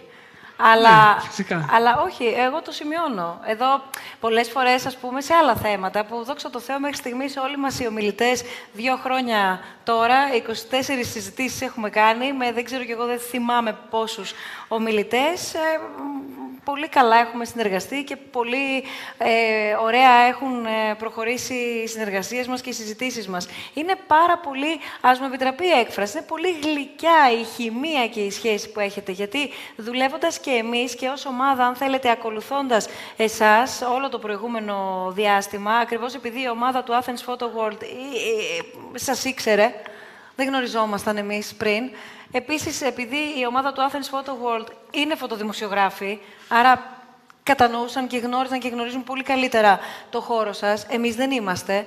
Εμ, θα περίμενε κανείς εκ πρώτης όψεως ότι, α, οκ, ο φωτογράφος του α, Μητσοτάκη, ο φωτογράφος του Τσίπρα, θα δούμε ένα άλλου τύπου debate ή θα είναι δύο επαγγελματίες οι οποίοι θα κοιτάνε με μισό μάτι ο ένας τον άλλον. Είναι πολύ ωραία τα σημεία που έρχεται και δένει όλη και η προεργασία, επιμένω γιατί έχει σημασία, δεν είναι πάντα δεδομένη, αλλά και η- ο κύκλος της συζήτησης μεταξύ των δύο. Πάνω απ' όλα είμαστε συνάδελφοι, πρώτα απ' όλα. Ε, και μετά από αυτό που κάνουμε τώρα θα συνεχίσουμε μάλλον να κάνουμε το ίδιο πράγμα. Οπότε και μεταξύ μας και με όλους τους άλλους συναδέλφους, ε, πρώτα απ' όλα μας συνδέει η ίδια δουλειά, έχουμε τα ίδια προβλήματα, οπότε είναι φυσιολογικό αυτό. Ε, Ναι. Και εγώ πρέπει να πω, για παράδειγμα, δεν ξέρω αν έχει συμβεί, συμβεί σε σένα, εγώ ε, αφού είμαι ένας φωτογράφος, για παράδειγμα, στη Γερμανία η καγκελαρία έχει τρει-τέσσερι, στη Γαλλία πάλι έχουν τρει-τέσσερι, αλλά εμείς είμαστε ένας. Δεν μπορείς να είσαι συνέχεια. Δηλαδή, άμα είσαι άρρωστος, τι γίνεται; Εγώ Τι γίνεται; ε, τι γίνεται, τι γίνεται; Ευτυχώς έχω συνάδελφους που τραβάνε. ότι άμα έχει Και μια αντικαθιστούν. συνάντηση στο, στο Μαξίμου και θα ζητήσουμε φωτογραφίες από κάποιο συνάδελφο, ευτυχώς. Αλλά άμα είναι κάπου στο εξωτερικό, πιο δύσκολα. Υπήρχε στη στιγμή που γέννησε η γυναίκα μου τη μικρή και πήγανε από το ΑΠΕ ε, για μένα. Αντί εμένα, για ένα μήνα, εγώ ήμουνα off και είχαν πάει στον Ταβός από το ΑΠΕ, γιατί και αυτό έγινε... Μου κάνανε μια χάρη βασικά. Και εγώ κάνω χάρη, γιατί ε, πάντα δίνουμε φωτογραφίες σε όλα τα μέσα. Τότε μια πώς λένε, ανταλλαγή ναι. Και ήταν, ακόμα και σε αυτά, εγώ επιμένω σε αυτή την ανθρώπινη. Άμα είσαι σε μια ξένη χώρα στην Ελβετία, τα πράγματα είναι πολύ πιο τυπικά και μπορεί να μην μπορεί να γίνει αυτό. Αλλά εδώ στην Ελλάδα αυτά είναι πιο απλά. Εύκολα. Δημήτρη, μία στιγμή εσένα, ε, πράγματι, ο Ανδρέα μας είπε, που, που Εγώ ευτυχώς ήταν αδύνατο να ακολουθήσεις ποτέ. Δεν δηλαδή, έχεις λείψει ποτέ. Ναι, νομίζω έχω λείψει μία φορά Είσαι που... Έχω λείψει μία φορά πριν τρία χρόνια που είχα πάθει πνευμονία για μία μέρα, νομίζω. Μία μέρα. Ε, έτυχε να γίνει μέσα στα Χριστούγεννα, οπότε ήταν μέρες που καθόμασταν, οπότε ήμουν τυχερός. Οπότε ήρθε, ήρθε και, και τέριαξε. Ε, δεν ξέρω αν έχουμε να δείξουμε κάποιες φωτογραφίες ή αν θέλετε να μας τις περιγράψετε αναφορικά με μία φωτογραφία ή και παραπάνω ενδεχομένως που ο καθένας από εσάς ξεχωρίζει για το δικό του λόγο μια φωτογραφία του Πρωθυπουργού Δημήτρη που ανεξαρτήτως αν έχει απασχολήσει, αν έχει δημοσιευθεί, αν έχει απασχολήσει την επικαιρότητα, αν έχει πρωτοστατήσει ή όχι, αν την έχεις εσύ στο αρχείο σου, για κάποιο λόγο εσύ την ξεχωρίζεις.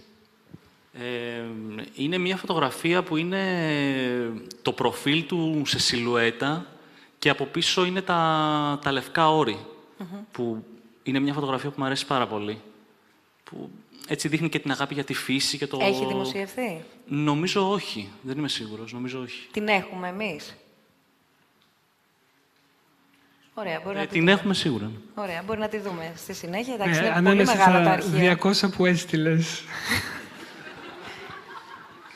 Συνεργαστήκαμε πολύ καλά με το ναι, αρχείο. Ναι, ναι, Δηλαδή, λοιπόν, τους έχουμε τρελάνει. Συνήθως, να τη, τη φωτογραφία μας περιέγραφε, σωστά; Ναι, ναι. Ανδρέα; Εγώ έχω μερικές. Ε, έχω και μία στον, στα λευκά όρη με λουλούδια. Δεν ξέρω αν την είδαμε. Καμία σχέση. Είναι ανάμεσα αυτές που έχω στείλει. Ε, έχω κάποιες. Ε, για παράδειγμα, μία που φαίνεται ε, του κύριου Λαντ το βράδυ πάλι 10, 12 Ιουλίου, που ξέρουμε όλοι, ήταν μια πολύ σημαντική ημέρα. Που φαίνεται, ήταν νύχτα, ε, τραβάγανε, τραβάγανε, όλο δεν σταμάταγε ποτέ όλο αυτό και ξαφνικά βλέπω μέσα στο Tour de Table ένα, ο, ο Λαντ που παίρνει από, από τη μία την κυρία Μέρκελ και από την άλλη την Αλέξη και τους λέει, σαν και ε, την εικόνα τα λέει όλα, γιατί mm. πραγματικά, ε, έλα, επιτέλους, ας βρείτε μία, μία λύση, γιατί κουραστήκαμε. Ε, εντάξει, εγώ τα λέω έτσι, απλώς ήταν πολύ δύσκολα τα πράγματα. Απλώς είναι μια εικόνα που, τα, που περιγράφει πραγματικά τι συνέβαινε εκείνο το βράδυ. Και άλλες δεν ξέρω τώρα που είναι, δεν, δεν φαίνονται. Θα φαίνονται. Ναι, τώρα βλέπουμε... Θα έρθει, βλέπουμε τη φωτογραφία. Θα έρθει τώρα σε λίγο. Είπαμε, είναι μεγάλα τα αρχεία. Συνήθως παρακαλάμε ναι, ναι. για μεγάλα αρχεία, για πολύ υλικό και δεν το παίρνουμε. Τώρα εδώ πέρα λίμωνο. Εσείς έχετε. Ε, εκείνη τη φωτογραφία. Πολύ υλικό. Να, τι εδώ βλέπουμε. την προσπάθεια του Γάλλου Προέδρου να μπορέσει να, να φέρει κοντά τους δύο ε, ηγέτες. Και μια άλλη φωτογραφία, τώρα αν μπορώ να πω απλώς ναι. αφού την έχουμε δίπλα, ε, κάτι που πάντα ο, ο κύριος Τσίπρας ήταν, για αυτόν ήταν πάρα πολύ σημαντικό και είναι, είναι ε, εδώ είχε καλέσει στο, στο Μαξίμο τα παιδιά Ρωμά και βασικά αυτός είναι πολύ ευαίσθητος στις μειονότητες και, και σε ε, γενικά, σε, σε ανθρώπους που έχουν δυσκολίες και έχουν προβλήματα και έχει, κάνει, έχει προσπαθήσει να κάνει όσο μπορούσε για, για αυτούς. Έχει λόγο ο, ο Πρωθυπουργός στις φωτογραφίες. Μας περιέγραφες νωρίτερα, Δημήτρη, ότι εσύ εισηγείς σε κάποιες ε, φωτογραφίες, κάνεις κάποιες προτάσεις και στη συνέχεια η, η, η αρμόδια ομάδα, εν πάση περιπτώσει, που ασχολείται και με αυτό το κομμάτι, προχωρά στη δημοσίευση μερικών από αυτές ο Πρωθυπουργός έχει λόγο. Είναι μέρος αυτής της διαδικασίας, αν θέλεις. Συνήθως δεν προλαβαίνει να ασχοληθεί και με αυτό, ναι. αλλά κάποιες φορές που έχει τύχει να, να δούμε έτσι, κάποιος να μου πει, έλα να δούμε λίγο τι, τι έχει βγει, ε, έχει επιλέξει φωτογραφίες που η υπόλοιπη ομάδα λέει, αυτή να τη βάλουμε και εφόσον την επέλεξε φυσικά και τη, και τη χρησιμοποιούμε, αλλά ναι, ε, έχει λόγο αν, αν χρειαστεί. Αν είναι κάτι πολύ σημαντικό, φυσικά και θα τον ρωτήσουμε πρώτα. Ναι, μπορώ να πω και εγώ το ίδιο. Γιατί ο άνθρωπος δεν έχει το χρόνο να ασχοληθεί και με εμάς. Έχει τόσα πολλά πράγματα. Και... Αλλά τυχαίνει, για παράδειγμα, όταν είμαστε, ήμασταν στο αεροπλάνο, πηγαίνοντας ή γυρνώντα από Βρυξέλλες από άλλες χώρες, ε, αναγκαστικά δεν έχουμε κινητά, δεν, δεν δουλεύει τίποτα, τότε είστε πιο, ακόμα πιο κοντά από όσο είστε συνήθως. Και πολλές φορές μου λέει: Έλα, δείξε μου λίγο τις φωτογραφίες που τράβηξες. Και εκεί μου λέει, αυτή την έχεις στείλει; Ε, όχι. Α, γιατί δεν την έχεις στείλει; Και τότε όταν φτάνεις, μετά στέλνεις και εκείνη τη φωτογραφία. Mm-hmm. Έχετε μετρήσει πόσα ταξίδια έχετε κάνει μέχρι στιγμής, ενώ με αυτό το πόστο. Εγώ όχι. Δεν ξεκίνησα καν δηλαδή να μετράω. Ναι, νομίζω... Ούτε και εγώ, δεν, δεν, πολλά. Είπατε νωρίτερα, νομίζω ο Δημήτρης το είπε, ότι πολλές φορές μένουμε, και λογικό είναι, σε ό,τι συμβαίνει εκείνη τη στιγμή, σε αυτό που απεικονίζει η φωτογραφία και στο γεγονός βεβαίως που, το οποίο βρίσκεται και στο επίκεντρο όλων μας, πέραν του φωτογραφικού φάκου. Παρ' όλα αυτά, έχετε να διηγηθείτε και να μοιραστείτε μαζί μας είτε περιστατικά, είτε κάτι το οποίο εσάς φωτογραφικά σας τράβηξε το ενδιαφέρον, ενώ όλοι ήταν επικεντρωμένοι σε κάτι άλλο; Ε, εγώ συνήθως προσπαθώ να βρω και μια άλλη γωνία ή να περιγράψω διαφορετικά αυτό που συμβαίνει. Παραδείγματος χάρη, η μεσαία φωτογραφία είναι από μια σύσκεψη που έγινε αμέσως μετά την επίσκεψή μας στην Ιδωμένη. Μάλιστα. Οπότε νομίζω ότι το, η λάσπη στα, στα παπούτσια δείχνει χωρίς να χρειάζεται να εξηγήσει όλο το υπόλοιπο που, που έχει συμβεί πριν και, ή αυτό που εκτιλήσεται εκείνη την ώρα. Ε, πάντα προσπαθώ έτσι να, να βγάλω κάποιες φωτογραφίες στον κόσμο που είναι εκεί, το, το περιβάλλον, κάποιες μικρές λεπτομέρειες. Ε. Ανδρέα; Πολύ ωραίες, πάρα πολύ ωραίες. Ωραίες αυτές. Εγώ, ε, μάλλον, εστιάζομαι... Εντάξει, αυτές καμία σχέση. Απλώς είναι, ήθελα να τις δείξω, γιατί ε, πολλές φορές, τα, ε, τη, βασικά η δουλειά που κάνουμε, κάναμε, έκανα εγώ, αλλά ε, μας δίνει δυνατότητα να βλέπουμε πράγματα που μόνος σου δεν θα έβλεπες ποτέ. Δηλαδή, εδώ, για παράδειγμα, αυτή η φωτογραφία αριστερά, εντάξει, την ξέρουμε καλά, γιατί την έχουν τρολάρει πάρα πολύ. Ήμασταν φυσικά στην Κίνα, ανεβήκαμε με τον... Βασικά ήταν όλ, όλ, αρκετά μεγάλη αποστολή είχα έρθει, γιατί είχαμε πάει και με επιχειρηματίες ε, με ένα ειδικό αεροπλάνο της Aegean. Ε, και μετά όταν ε, πηγαίνεις σε μια επίσημη επίσκεψη, έχεις και επίσημες, ε, ε, πώς το λένε, ε, επίσκεψη σε ιστορικά μέρη. Εδώ, για παράδειγμα, είναι το, το Συνικό Τείχο και από την άλλη είναι η, η απαγορευμένη πόλη. Για παράδειγμα, ε, στο Τείχο ήμασταν, ήταν τόσο ωραία εκείνη τη στιγμή, γιατί είχαν κλείσει τον Τείχο για μας και όπως και είχαν κλείσει και την απαγορευμένη πόλη, τότε βλέπεις κάτι που άμα πας μία μέρα μόνος σου δεν μπορείς ποτέ να το δεις έτσι, γιατί έχει χίλιες δύο ανθρώπους που είχε συνέχεια μπροστά, ουρές κτλ. Εδώ βλέπουμε είμαστε μόνο εμείς. Και είναι φανταστικά. Αυτά εμένα, ιδιαίτερα επειδή μου αρέσει πολύ η φωτογραφία τοπίου, φύση κτλ., είναι φοβερή χαρά. Και ο, ο Λέξη σίγουρα εκείνη τη στιγμή το χάρηκε πάρα πολύ. Ήμασταν οι δύο, εμείς οι δύο πρώτοι που από κάτω ανεβήκαμε, σχεδόν τρέχοντας προς τα πάνω, ότι είχαμε το πρόγραμμα να, να ακολουθήσουμε και έπρεπε να, να μην χάσουμε χρόνο και τώρα πήγαμε πάνω ψηλά όσο μπορούσαμε. Αυτό θέλω να πω. Τότε έχουμε ευκαιρίες να δούμε πράγματα που αλλιώς βλέπεις δύσκολα. Και στην πλατεία Tiananmen τώρα ήταν πολύ συγκλονιστικό. Υπάρχουν όρια στη φωτογραφία. Δημήτρη. γενικά, ειδικά, όταν ακολουθείς Όρια φυσικά υπάρχουν. Και ξέρεις, ξέρεις και ξέρει και όλοι ξέρουν ότι είσαι εκεί ως προσωπικός του φωτογράφος προφανώς για να αποθανατήσεις το ότι συμβαίνει. Υπάρχει όριο ή μπορεί να γίνει το κλικ σε όλα; Ε, όχι, φυσικά υπάρχουν όρια. Όπως; Ε, ιδιαίτερα είναι ε, όρια που σου δίνουν από τις, ε, από τις χώρες που πηγαίνεις ή από τη στιγμή που είσαι, άμα είσαι στο μαξίμετρο. Αλλά φυσικά υπάρχουν πρωτόκολλα, υπάρχουν διάφορα ε, πράγματα που πρέπει οπωσδήποτε να ακολουθείς. Δεν μπορείς να κάνεις ό,τι θέλεις. Δεν γίνονται αυτά. Ναι, εντάξει, με, με κάλυψε απόλυτα. Μακάρι, γιατί εμείς, εμένα είναι και γνωστός, εγώ με βλέπουν με σκαρφαλώνω πάνω από εδώ, από εκεί και πολλές φορέ. Α, δεν τα τηρείς δηλαδή. Εγώ είμαι, αυτό είπα, είμαι λίγο περίεργος και, και, τότε με προσέχουν, με ξέρουν πολύ καλά. Και στο Μαξίμο τότε και τώρα από την άλλη. Ξέρουν ότι ο Μπονέτη πάντα να τον έχεις λίγο υπό παρακολούθηση, αλλιώς θα σου κάνει μια. Γιατί αλλιώς έχει εκείνος υπό παρακολούθηση. το θέμα. Ποιο, ποιο είναι το καλό προφίλ, ε, Υπάρχει; Ναι, βέβαια. Είναι όπως κοιτάμε από αριστερά. Όπως κοιτάμε από αριστερά. Δηλαδή, από τη δεξιά του. Ναι, ακριβώς. Ε, εμείς την άλλη.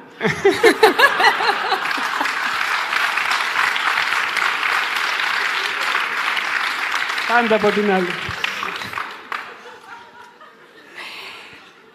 Έχετε αισθανθεί ποτέ άβολα ή έχετε πει ποτέ ψέματα για τη δουλειά που κάνετε. Ε, όχι πώς; Όχι ότι είστε ναι. φωτογράφος. Ότι είμαι σε μία παρέα, είναι λίγο ή κάπου, είναι τα πράγματα λίγο δύσκολα. Εντάξει, είμαστε και 10 χρόνια δύσκολα. Δεν το... Ε, δεν γέρνει προς τη μία ή προς την άλλη κατεύθυνση. Ε, γνωρίζουμε πάρα πολύ καλά η πόλωση ότι υπάρχει εκεί έξω. Ε, πολλές φορές ότι ισοπεδώνονται πράγματα, καταστάσεις, άνθρωποι, επαγγελματίες, σαρωτικά. Οπότε λίγο να έχετε νιώσει άβολα, να πείτε ότι η δουλειά μου είναι, είμαι φωτογράφος και αυτή την περίοδο είμαι ο προσωπικός φωτογράφος του Πρωθυπουργού. Όποιος και αν είναι.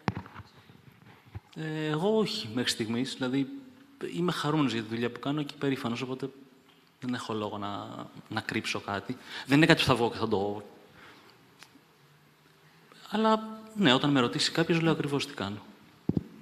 Εγώ δυστυχώς αναγκαστικά πολλές φορές το κάνω. Όχι πολλές, μερικές φορές. Γιατί άμα έχεις μπροστά άνθρωπο που τον Αλέξης τον Τσίπρα το βλέπει ως προδότης, στο ένα το άλλο, εσύ λίγο κάνεις πίσω και λες, εντάξει, μήπως να μην του πω ακριβώς τι κάνω, γιατί δεν ξέρεις ποτέ.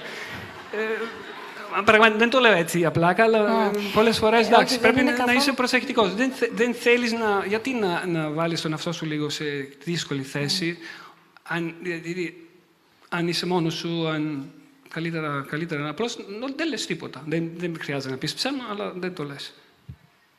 Επανέρχομαι λίγο στην, ε, στην ισορροπία, την ε, επαγγελματική και την πιο προσωπική, γιατί είναι αναπόφευκτο για όλους μας. Δουλεύουμε μαζί με, με συναδέλφους στον ίδιο χώρο, πάνω σε ίδιο αντικείμενο, ερχόμαστε κοντά, θεωρούμε και είναι, αν είμαστε και λίγο άνθρωποι που βλέπουμε τη δουλειά όχι μόνο ως κάτεργο, αλλά βλέπουμε τη δουλειά ως ένα πεδίο ενδιαφέρον με αγάπη και με συμπόνια. Αντίστοιχα, αγαπάμε και συμπονούμε και τον διπλανό μας, τον συνάδελφό μας. Άρα θεωρούμε, ξαναλέω, οικογένεια το περιβάλλον μας, το εργασιακό.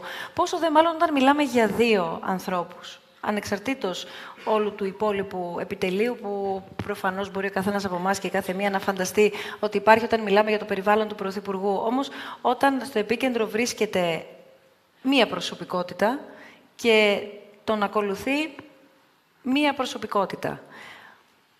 Έχετε πιάσει τον εαυτό σας να προσεγγίζετε ή να θέλετε πέραν του επαγγελματικού, το οποίο είναι δεδομένο λίγο πιο προσωπικά και από την χρόνια πια συνεργασία; Μαζί με αυτόν τον άνθρωπο πια και όχι μόνο το θεσμό, τον Πρωθυπουργό που χρήζει σεβασμού προφανώς κτλ. Και, και πέραν του επαγγελματικού σας καθήκοντος που προφανώς θα το αντιμετωπίσετε τη φωτογραφική απεικόνηση κτλ. επαγγελματικά να θέλετε και προσωπικά αυτό που λέμε να βγει κάτι καλό. Γιατί έχετε έρθει πια και ως άνθρωποι πέρα από τον Πρωθυπουργό και τον επαγγελματία φωτογράφο που καλούνται να συνεργαστούν, έχετε έρθει ως άνθρωποι κοντά. Νομίζω, όπως είπα και στην αρχή, αν δεν νιώθεις έτσι, δεν μπορείς να την κάνεις αυτή τη δουλειά καθόλου. Και όταν βλέπεις ότι ο άλλος είναι στεναχωρημένος, είναι αναπόφευκτο να νιώσεις και εσύ ότι στεναχωριέσαι μαζί του. Ακριβώς. Και αυτό ίσως κάποιες φορές καλώς ή κακώς επηρεάζει και, το... και τη δουλειά μας.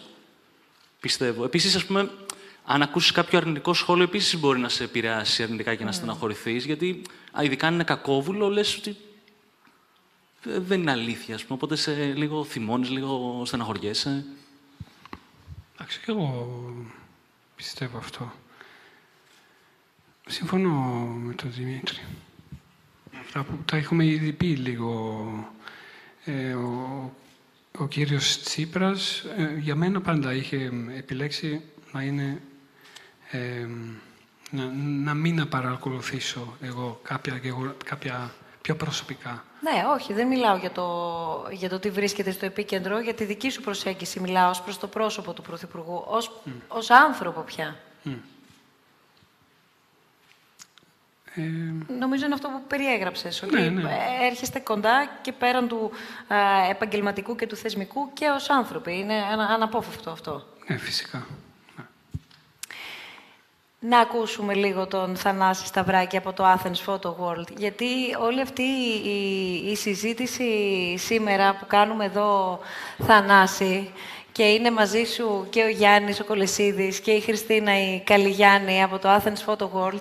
Ε, ξεκίνησε από, από μια συζήτηση που είχαμε και από ε, κοινές προβληματικές που βλέπουμε να, να υπάρχουν γύρω από τη φωτογραφία γενικά στην Ελλάδα και τους επαγγελματίες ουσιαστικά φωτογράφους.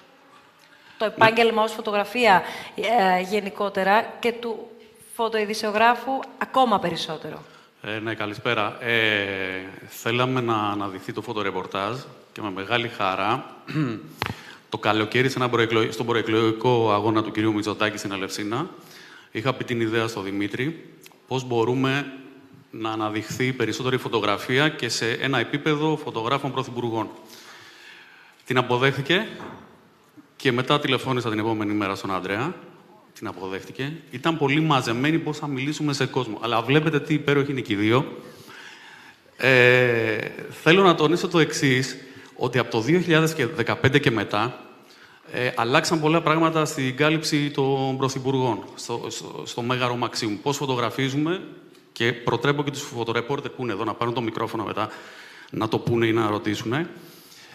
Ξεκίνησαμε με την κυβέρνηση τον Ιανουάριο του 2015 Τσίπρα, του κυρίου Τσίπρα στο Μαξίμου. Βλέπω και από το επιτελείο του τότε που ήταν. Δεν ξέρανε, θέλανε να μάθουν, βοηθήσανε, προχωρήσανε τα πράγματα. Και φτάνουμε τώρα από τον Ιούλιο του... Ε, ναι, τον Ιούλιο, ο οποίο έχει αλλάξει πάρα πολύ το πράγμα. Και γι' αυτό θέλω να ευχαριστήσω για την εκδήλωση και την κύρα την Κάπη, η οποία έχει αλλάξει πραγματικά το ρόλο του Μαξίμου τι είναι αυτό που έχει αλλάξει, ναι, για να καταλάβουμε λίγο και οι υπόλοιποι, ναι, ναι, ναι, Θανάση, να μπορέσουμε να καταλάβουμε τι είναι αυτό που έχει αλλάξει τελικά. Είναι όλα σχεδιασμένα σωστά. Πού θα κάτσω... ε, εγώ είμαι φωτορεπόρτερ στο Associated Press της άλλης. Πού θα κάτσουμε, ε, πόσο θα κάτσουμε, ε, ποιο είναι πίσω το φόντο, όλα, όλα αναλυτικά. Έχει φτιάξει και ένα κανάλι και ο Δημήτρης ο Παπαμίτσος και η κυρία Εκάπη στο WhatsApp και επικοινωνούν. Έχουμε τάδε, τάδε αυτή τη μέρα. Αυτό δεν υπήρχε παλιότερα. Μπορεί να παρεξηγηθεί αυτό; Κάνω εγώ τώρα τον, ε, τον ναι, αντίλογο. Και, και Μπορεί να παρεξηγηθεί αυτό; Παρεξηγηθεί από ποια άποψη; Θέλω να πω, επειδή όλοι μας έχουν παρεξηγημένους όλους τους δημοσιογράφους και τους φωτοδημοσιογράφους, ναι, ναι, οπότε το παίρνω κακώς, αλλά ρεαλιστικά ως δεδομένο. Μπορεί να παρεξηγηθεί ότι εδώ υπάρχει μια επικοινωνιακού τύπου συνεργασία; Όχι, όχι καθόλου. Όταν σου λέει ότι έξι ώρα ο Πρωθυπουργός θα συναντηθεί με τον είπα το αρμοστή της, ε, του ΟΗΕ. Η ενημέρωση που λέμε. Το είναι απλά πράγματα. Δεν είναι ούτε σχολιασμός, ούτε κάτι παίρνουμε θέση. Άλλαξε προς το καλύτερο. Εγώ χαίρομαι πάρα πολύ που έχει ανέβει το επίπεδο των φωτογράφων και του Αντρέ... λόγω του Αντρέα και του Δημήτρη ε, σε αυτό που λέμε πολιτικό ρεπορτάζ και φωτογράφοι πρωθυπουργών. Έχει απογειωθεί. Έχει πάει σε άλλο επίπεδο και το είδατε όλοι από τις φωτογραφίες. Καμία σχέση με τους παλιότερους που θα βλέπατε δεκαετία 80. Ενδιαφέρον από νεότερους υπάρχει. γενικά για τη φωτογραφία και ειδικά για το πολιτικό ρεπορτάζ. Για το πολιτικό ρεπορτάζ όχι τόσο πολύ, όσο περισσότερο για το ελεύθερο ρεπορτάζ. Ε, και πολύ, τα, τα νέα παιδιά ασχολούνται και πολύ και με το βίντεο. Είναι και βίντεο journalist. Και ε, multimedia. Ορίστε. Multimedia.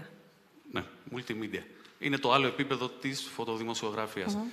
Ε, εγώ θέλω να κάνω μια ερώτηση πριν ολοκληρώσω. Ε, έβλεπα τον Πρωθυπουργό τώρα φωτογράφιζε.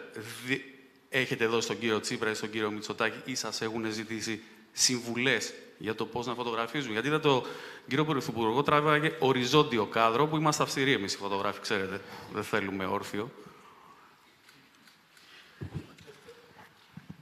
Ε, νομίζω ότι ο κ. Μητσοτάκης ασχολείται με τη φωτογραφία πολύ πριν, οπότε είναι λάτρης του, του μέσου και του αρέσει γενικώς και η φωτογραφία ε, και σαν, έργο, σαν εργοτέχνης, όχι μόνο σαν μέσο πολιτικής χρήσης, ας το πούμε, ή επικαιρότητας. Ε, οπότε δεν χρειάζεται να δώσω κάποιες συμβουλές, γιατί ήδη ξέρει. Ε, εγώ όχι, δεν, δεν έχει γίνει κάτι τέτοιο. Ωραία. Ε, αν μπορώ να κλείσω, να πω ε, δύο λόγια για το Athens Photo World, το οποίο... Θα περιμένετε να έρθει το μικρόφωνο, αν έχετε την καλοσύνη, για να ακούσουμε όλοι. Ευχαριστούμε. Έχω, Μας παρακολουθούν και διαδικτυακά. Ωραία. Ε, το Athens Photo World ήταν μια, ένα φεστιβάλ φωτορεπορτάζ που έγινε, θέλαμε να δείξουμε τους πρωταγωνιστές, φωτορεπόρτερς, το τι φωτογραφίζουν, μεγάλη υψηλή, υψηλής ποιότητας φωτογραφίας. Ε, έγινε με τη δωρεά του Ίδρυματος Σταύρος Νιάρχος τον περασμένο Ιούνιο στα κάγκελα του Εθνικού Κήπου, στο Κέντρο Πολιτισμού Ίδρυμα Σταύρος Νιάρχος. Και φυσικά σε αυτή την ιδέα ε, ήταν και ο αείμνησος Γιάννης Μπεχράκης με την έκθεσή του. Είχε όραμα την έκθεσή του η οποία υλοποιήθηκε και το βραβείο που θεσπίστηκε ε, το International Photojournalism Award Γιάννης Μπεχράκης. Ε, αυτά. Ευχαριστώ πάρα πολύ τα παιδιά. Ευχαριστώ και τους διαλόγους για την πρόσκληση και για όλο αυτό το event. Ευχαριστούμε. Λοιπόν, δεν έχω να σε ρωτήσω αν σου έχει λείψει το προηγούμενο αντικείμενο. Ανέκαθεν ήταν το... η πολιτική στο επίκεντρο. Η φύση... Ε, ναι, φυσικά μου έχει λείψει. Ε, γιατί πραγματικά δεν είχα χρόνο, δεν είχα Σαββατοκύριακα, δεν είχα τίποτα για να μπορέσω να συνεχίσω να κάνω λίγο ή ταξίδια. Εδώ είναι Ουσμπέκισταν, Σαμαρκάν και από εδώ είναι η Μπαγκάν στην uh, Μιανμάρ. Αυτά τα ταξίδια δυστυχώς τα έκοψα. Δηλαδή από το 2015 δεν, δεν, δεν μπόρεσα πια. Ε, εδώ είναι κάποια νησιά του, της Μιανμάρ πάλι, πάλι. Αυτή είναι οι, οι, οι τσιγκάνες της θάλασσας τους λένε, μόκεν, που ζουν πάνω σε βάρκες και, ζουν, και πηγαίνουν από νησί σε νησί που είναι ακατοίκητα αυτά τα νησιά, φοβερή ζούγκλα. Με αυτό το βάτραχο, για παράδειγμα, είναι ένα ζώο που έχω, έχω ανακαλύψει σαν βιολόγος που δεν υπήρχε ακόμα, δεν ήξερε ακόμα κανένας τι είναι, τι είδος κτλ. Και ήμουν εκεί πέρα ένα ολόκληρο δύο χειμώνες και έκανα έρευνες. Ε, αυτά δυστυχώ τα έκοψα. Ε, φυσικά μου έχουν λείψει, αλλά από την άλλη σας λέω, ε, για μένα είναι, είναι μεγάλη εμπειρία αυτό που κάνω ακόμα, γιατί πραγματικά είναι πολύ σημαντικό για μένα να μπορέσω, δηλαδή αυτή την αλλαγή προς τον άνθρωπο και προς την πολιτική που είναι η βάση της. Αυτό άμα πιστεύεις ότι μπορεί να γίνει κάτι καλύτερο, είναι μέσω της πολιτικής; Μπορεί να γίνει κάτι καλύτερο μέσω της πολιτικής σήμερα; φυσικά μπορεί. Άμα υπάρχει θέληση, οπωσδήποτε. Μπορεί από σήμερα με αύριο να αλλάξουμε τα πάντα. Φτάσατε στο σημείο που έλεγα πριν πώς, ε, για παράδειγμα, και μέχρι πριν από λίγα χρόνια, στο πρόσφατο παρελθόν δηλαδή, υπήρχε και υπάρχει ακόμα, είναι δεδομένη απαξίωση στους δημοσιογράφους, ξεκινώ από το δικό μας πεδίο, αλλά απαξίωση υπάρχει και, στο πολιτικό, και προς το πολιτικό πεδίο. Έχει έρθει κάποια στιγμή που έχετε σκεφτεί να φύγετε από αυτό το χώρο, ακόμα και αν τον αγαπάτε, με τη δουλειά που κάνετε, με, με, με τον τρόπο που συμμετέχετε και βρίσκεστε σε αυτό το χώρο. Αλλά ακριβώς επειδή η περιραίουσα ατμόσφαιρα είναι αυτή που είναι να απογοητευτείτε εσείς οι ίδιοι προσωπικά. Εγώ όχι, γιατί όπως σας είπα, το βλέπω ότι καταγράφω με το δικό μου τρόπο τη σύγχρονη ιστορία της χώρας μου. Βέβαια, όπως βλέπουμε εδώ στις φωτογραφίες, προσπαθώ όπου είμαστε να επικεντρώνομαι πάλι στον άνθρωπο και να βγάζω έτσι κάποια πορτρέτα ή κάποιες ε, στιγμές εκτός του, του προγράμματος. Αλλά όχι, ποτέ δεν έτσι σκέφτηκα να περιέγραψέ μας, γιατί είναι ε, Αριστερά είμαστε στη Λευκάδα. Ε, στο κέντρο είμαστε μέσα στα, στα Ηνωμένα Έθνη. Εδώ είναι η μπάρα της Βουλής. Μάλιστα. Και εδώ νομίζω είναι σε κάποιο... Νομίζω είναι στη Μόρια, αλλά δεν είμαι σίγουρος. Τόσο εσύ, Δημήτρη, ως νεότερος, όσο όμως και εσύ, Ανδρέα, ως προερχόμενος από μια άλλη χώρα. Στην Ελλάδα του σήμερα, τι θα σημειώνατε για τη φωτογραφία; Ακούσαμε νωρίτερα και το Θανάση και το βλέπουμε. Υπάρχει πολύ μεγάλο ενδιαφέρον από κόσμο να ακολουθήσει αυτό το επάγγελμα. Όπως αντίστοιχα υπάρχει μεγάλο ενδιαφέρον από κόσμο να ακολουθήσει το επάγγελμα του δημοσιογράφου. Ενώ βλέπεις τι γίνεται. Τόσο στις συνθήκες εργασίας που επικρατούν α, σε γενικές γραμμές, κατά κύριο λόγο μάλλον, όσο όμως και από το κλίμα, εν πάση περιπτώσει, έτσι όπως διαμορφώνεται. Εγώ νομίζω ότι το επάγγελμα εξελίσσεται πάρα πολύ και μέσω των νέων τεχνολογιών που μπαίνουν, αλλά και βλέπω δουλειές από νέα παιδιά, από σχολές ή νέους συναδέλφους. Πραγματικά θαυμάζω. Γιατί υπάρχει, επειδή έχει μπει η εικόνα στη ζωή μας σε σχέση με, το, με εμάς που μπορεί να τραβάγουμε φιλμ όταν ξεκινήσαμε, ήταν πιο δύσκολο. Ε, είναι πιο εύκολο και έχει πάει πολλά βήματα παραπέρα. Οπότε νομίζω ότι προχωράει και εξελίσσεται πάρα πολύ καλά. Και πρέπει να πω ότι η Ελλάδα, ε, συμφωνώ φυσικά, η Ελλάδα έχει και πολύ ψωμί, ας πούμε. Γιατί ε, εγώ βλέπω εδώ, είναι κάποια παιδιά σχολής που κάνουν σχολή τώρα φωτορεπορτάζ. Και φυσικά τα κινήτρα είναι πολλά για τα παιδιά, συνεχίζουν να υπάρχουν. Ε. Ενώ πάλι εγώ βλέπω μια χώρα σαν την Ελβετία, που όλα τα πράγματα είναι καλά, όλα δουλεύουν, όλα εντάξει, από πολι... εγώ εκεί δεν θα νομίζω θα έκανε πολιτικό φωτορεπορτάζ, γιατί τι έχεις να καλύψεις, χαιρετούρες, ε, τέτοια πράγματα. Αλλά πράγματα της ουσίας δεν ξέρω πόσο πολύ. Ενώ εδώ υπάρχει, υπάρχει, υπάρχει πάντα κάτι πολύ ενδιαφέρον. Πάρα πολύ. Και τότε και για τα παιδιά έχει, τα κίνητρα είναι πολλά. Ναι. Πρέπει να πω ότι νομίζω, Δημήτρη, και εσύ κάθεστε και έχετε δίπλα τις μηχανές σας. Ναι. Όχι. ναι, ε, ναι, είναι περίεργο. Γιατί είναι η πρώτη φορά που δεν φωτογραφίζω. Δηλαδή είναι λίγο... Θέλετε να φωτογραφίσετε. Εγώ, εγώ την έχω φέρει ακριβώς γι' αυτό. Γιατί θα Αν ήθελα και κόσμος, όμως. μία φορά να τραβήξω από εδώ προς τα εκεί και όχι έτσι. Γι' αυτό γιατί την έχω εδώ. στροφά. και θα το κάνω. Θα το κάνω. Ωραία. Α, μπορείς, αν θέλεις να το κάνεις κάνω και τώρα; τώρα, και Ευχαριστώ. να ακούσουμε σιγά σιγά εάν έχετε και εσείς να ρωτήσετε ή να τοποθετηθείτε από όλα όσα έχετε ακούσει να, να λέγονται όλη αυτή την ώρα από τον Δημήτρη Παπαμίτσο και τον Ανδρέα Μπονέτη και βέβαια όσοι και όσες μας παρακολουθείτε διαδικτυακά παρακαλώ πολύ αν έχουμε ερωτήματα επειδή έχω ένα πρόβλημα με την ε, σύνδεση και δεν μπορώ να τα, να τα δω μας τα μεταφέρετε αντίστοιχα. Η Χριστίνα Καλιγιάννη.